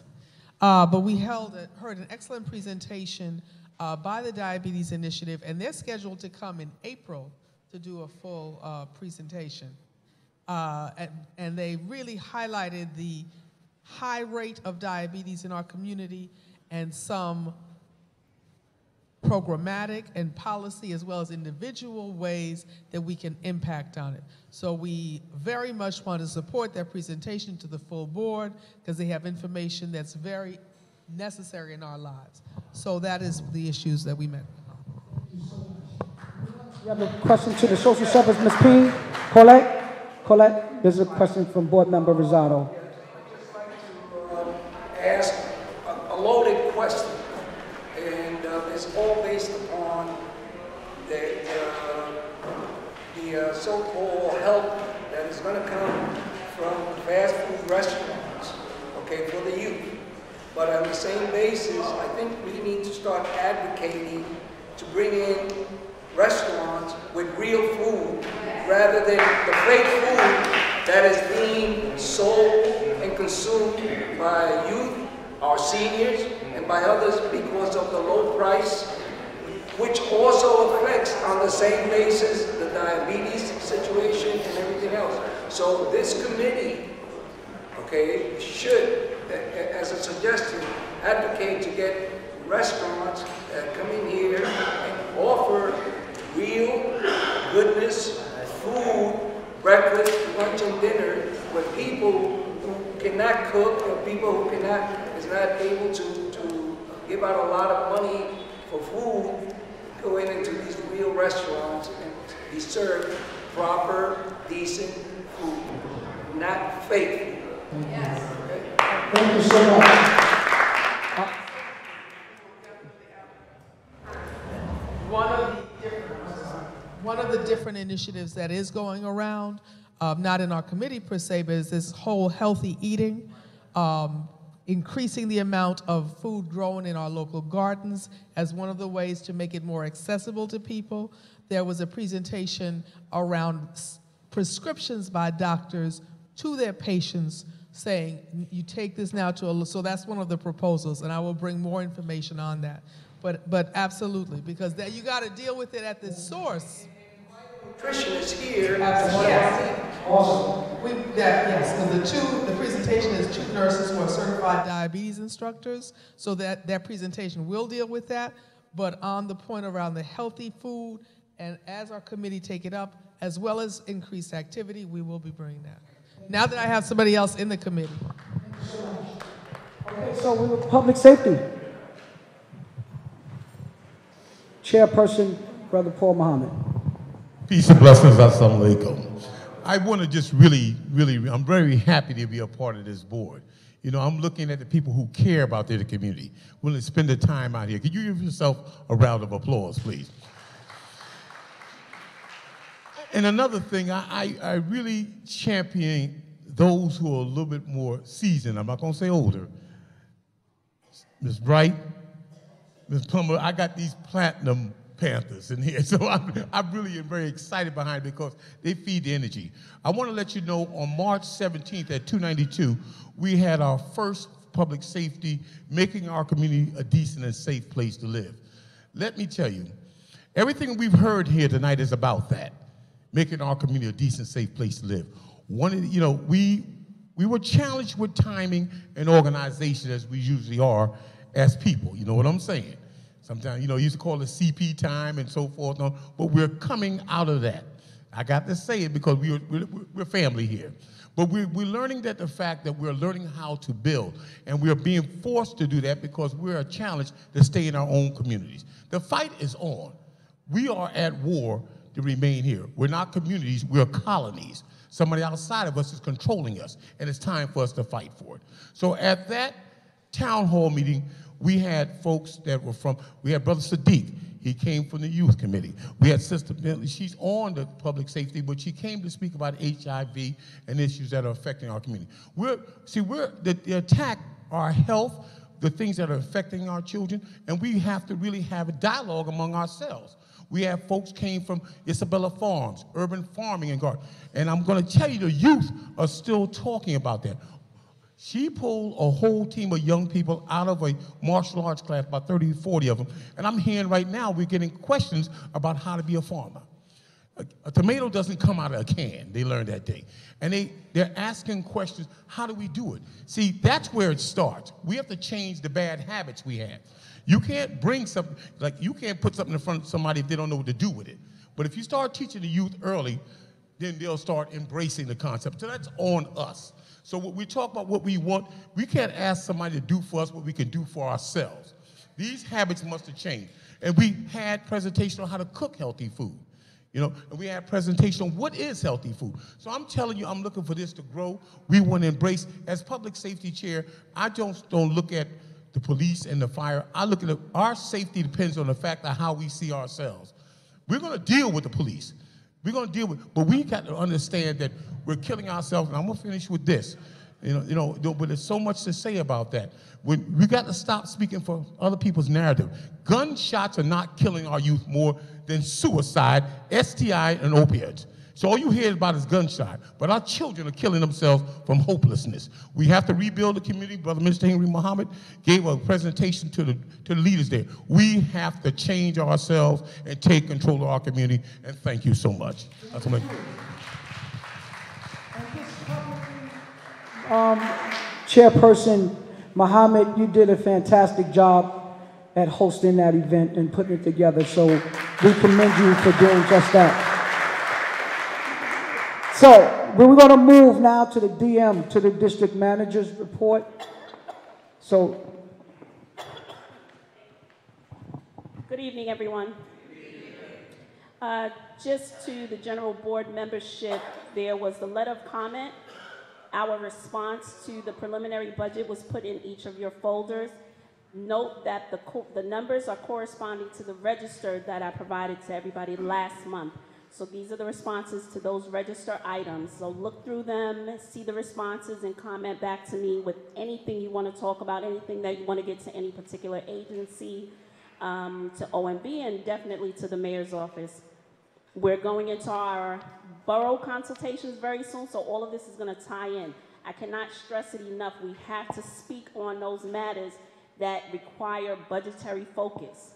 Um, I hear a lot of things that are happening throughout the community from members as well as uh, our community members. So we have to contact the district office and talk about those things where we want to put money to the problem as opposed to just, you know, discussing how we can get it solved quickly. We want it long term, something that can be resolved long term in this community.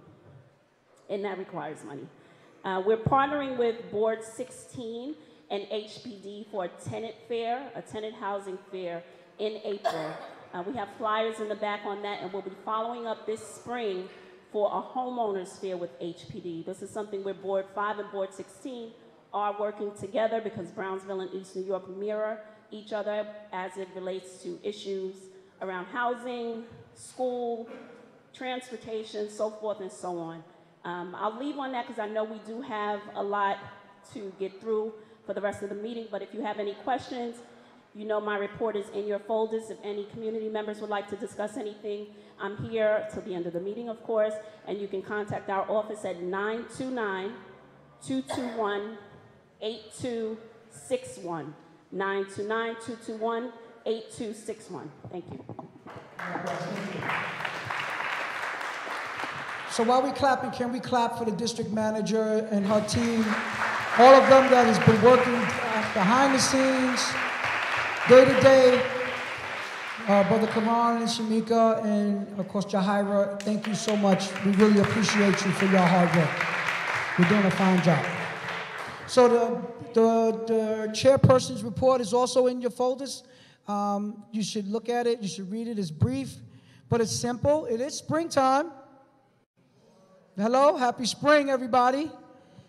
So we want to make sure that we keep that in mind. Um, as I've mentioned, some of you may have attended this special meeting that I convened as a result of the oversight, and we had to conclude the nominations for this year in time.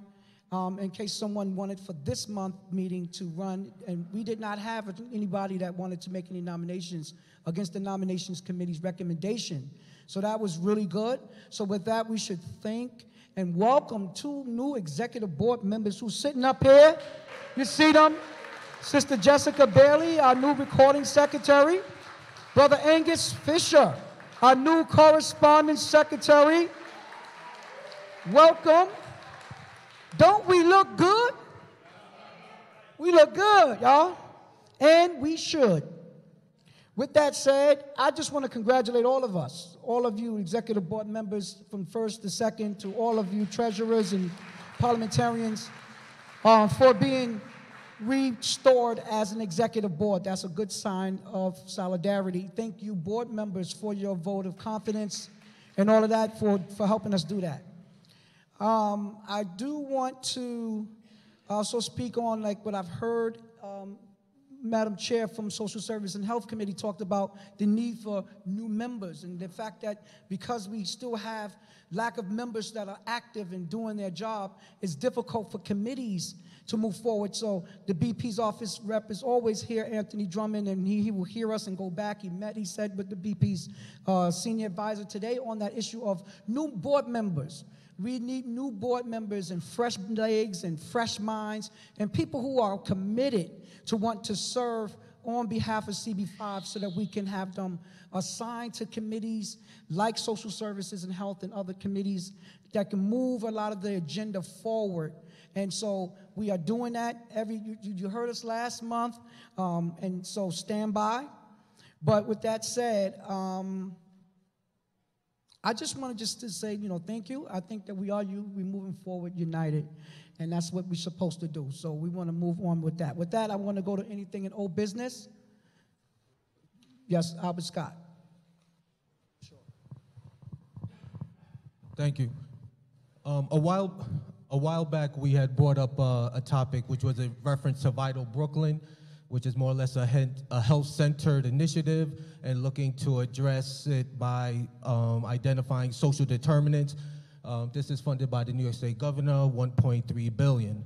Um, the main thing I just would like for the board members to know, as well as the district office to know, eventually, um, according to Assemblywoman Diana Richardson, they're going to start releasing some RFPs pertaining to this specific initiative.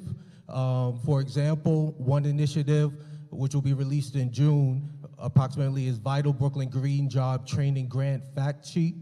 Fact sheet, and I'm just asking for the district office if they can create some form of a synopsis, a small summary of a what Vital Brooklyn is, um, so what are the requisites to even apply for these grants? Because before you even thinking about pr presenting a proposal, you have to be registered with the uh, with something the governor created known as Grants Gateway, in which you have to register with this site to even be before be considered. And my concern is that our community-based organizations in East New York is not um, is not a not aware or not prepared to take on some of these initiatives. And these social determinants are um, gun um, gun violence prevention initiatives health, job placement, and then another component is the housing piece. Um, this specific initiative is uh, Central Brooklyn, which uh, basically consists of nine assembly districts. So if, she, if, the district office can do some research so that information can be disseminated to the board as well to the community so folks can start getting prepared for these particular grants opportunities. Thank you. Brooklyn and Actually, we are on it. The district office, as well as community board, have been working in conjunction with our state assembly representatives, uh, Charles Barron's office, uh, Latrice Walker, uh, and talk of the assembly, as far as the vital Brooklyn monies that they have made us aware of. And we are very much aware, as you mentioned, of the RFPs that have been put out. There's been some orgs, if you remember, executive committee, that some nonprofits have come before us and talked about they've been funding already, received funding from that Vital Brooklyn pot. And so um, you're right about the fact that the organizations that will become eligible have to be inside that system. And so we are talking to the nonprofits organizations in the community, making sure that they are prepared so that they can be able to submit for those other outstanding proposals. and receive some of that Vital Brooklyn funding. We um, will be in touch with our, you know, our state assembly members are already in touch with us, and they are keeping us informed as to that process. Well, I agree with you, and I thank you for bringing that to our attention because it is uh, a very huge initiative that's coming from the state assembly. Um, anything else out of uh, new business? I'm going to go to old business. I'm sorry, new business. I apologize. I want to go to new business. All right, we're going to close O O M G. Let me hear new. Go. All right, the new, the new business is in reference to the uh, rezone area.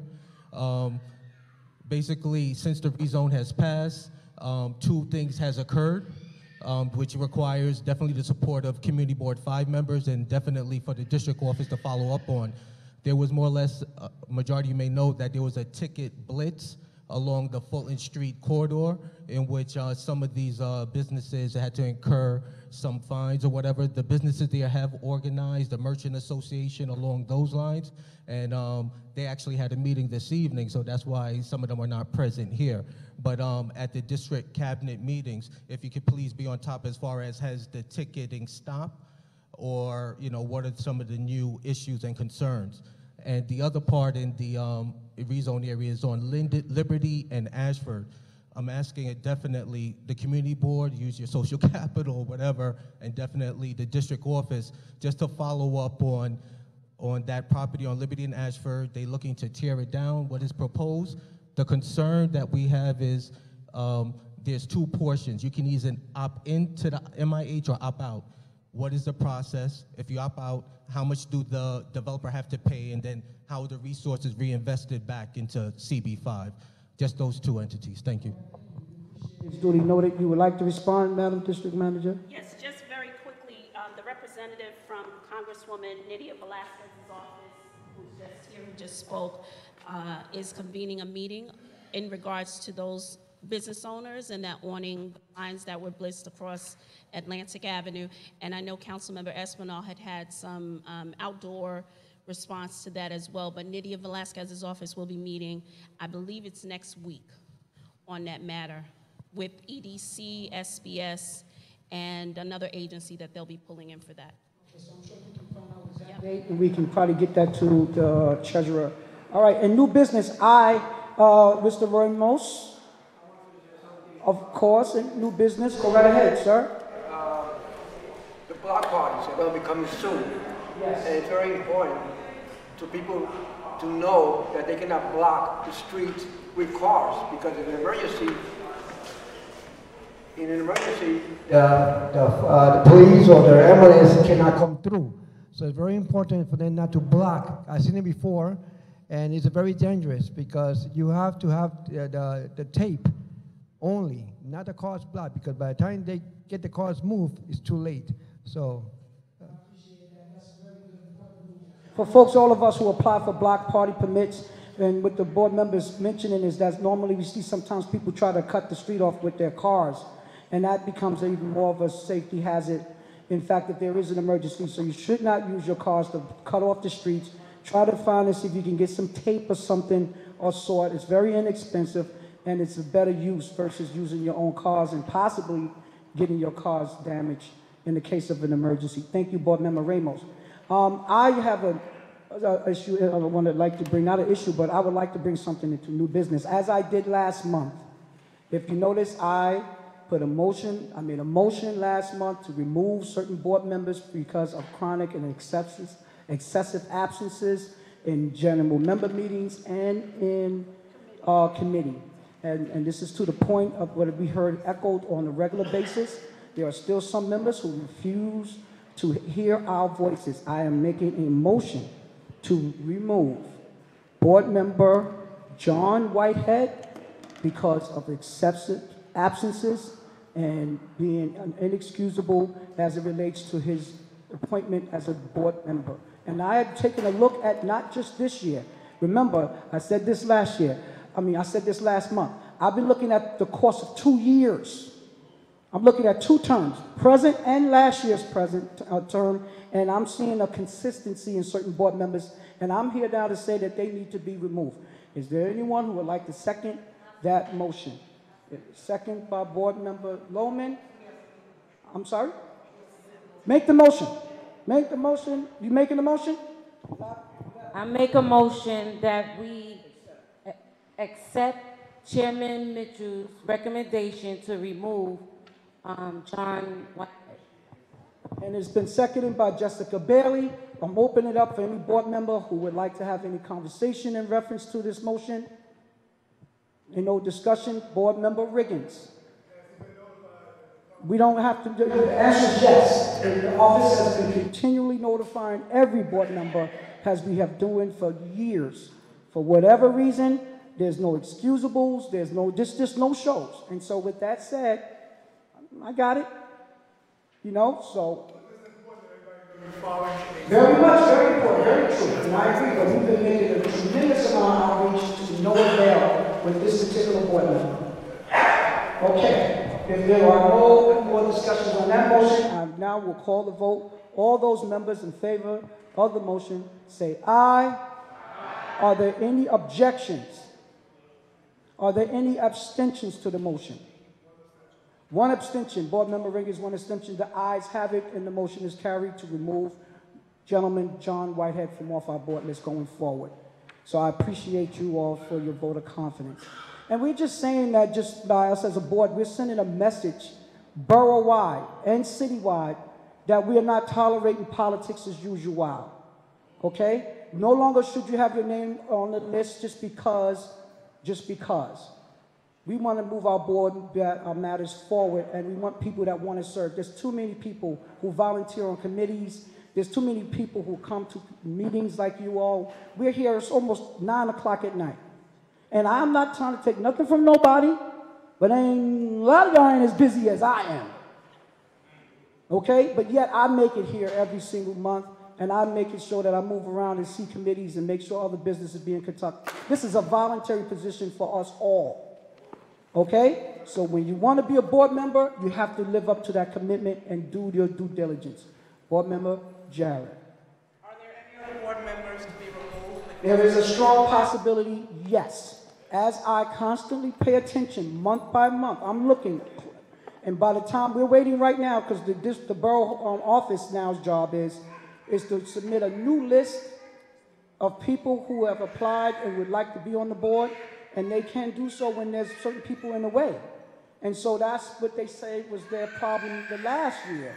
When I've asked them to remove certain members, and I looked up and they had the same member's name on the list. And I'm like, you, you, you, come on, why is this person still named if they're not going to serve? Well, they said, well, you are chair, you got a board, won't you use your charter and your bylaws? And so we did. And there is still some who will be removed if you don't serve the way that you have admitted that you would serve when you were first appointed. It's just that simple. No pun intended. I get it, but we're moving this board forward. Thank you. So, outside of all of that, that's if there's no more new business, I will now. And before I do so, I want to thank you, community, so much. Let's clap it up for them, for those of you that stuck around. From the youngest of you to the eldest of you that stood around, I appreciate spending this time. This is well worth it for us. We really appreciate again Canberra. We appreciate the Penn Wortman community. We appreciate East New York at large. We appreciate you, WNET, and others in the district cab office and all of that, and all of you for doing this. But I now will entertain a motion to adjourn. Made by Boardman Ferrantino, and second by, second by Mr. Riggins. All those members say favor, say aye. All any objections? All right, the ayes have it. Have a good night. Thank you so much. God bless you. We see you next month.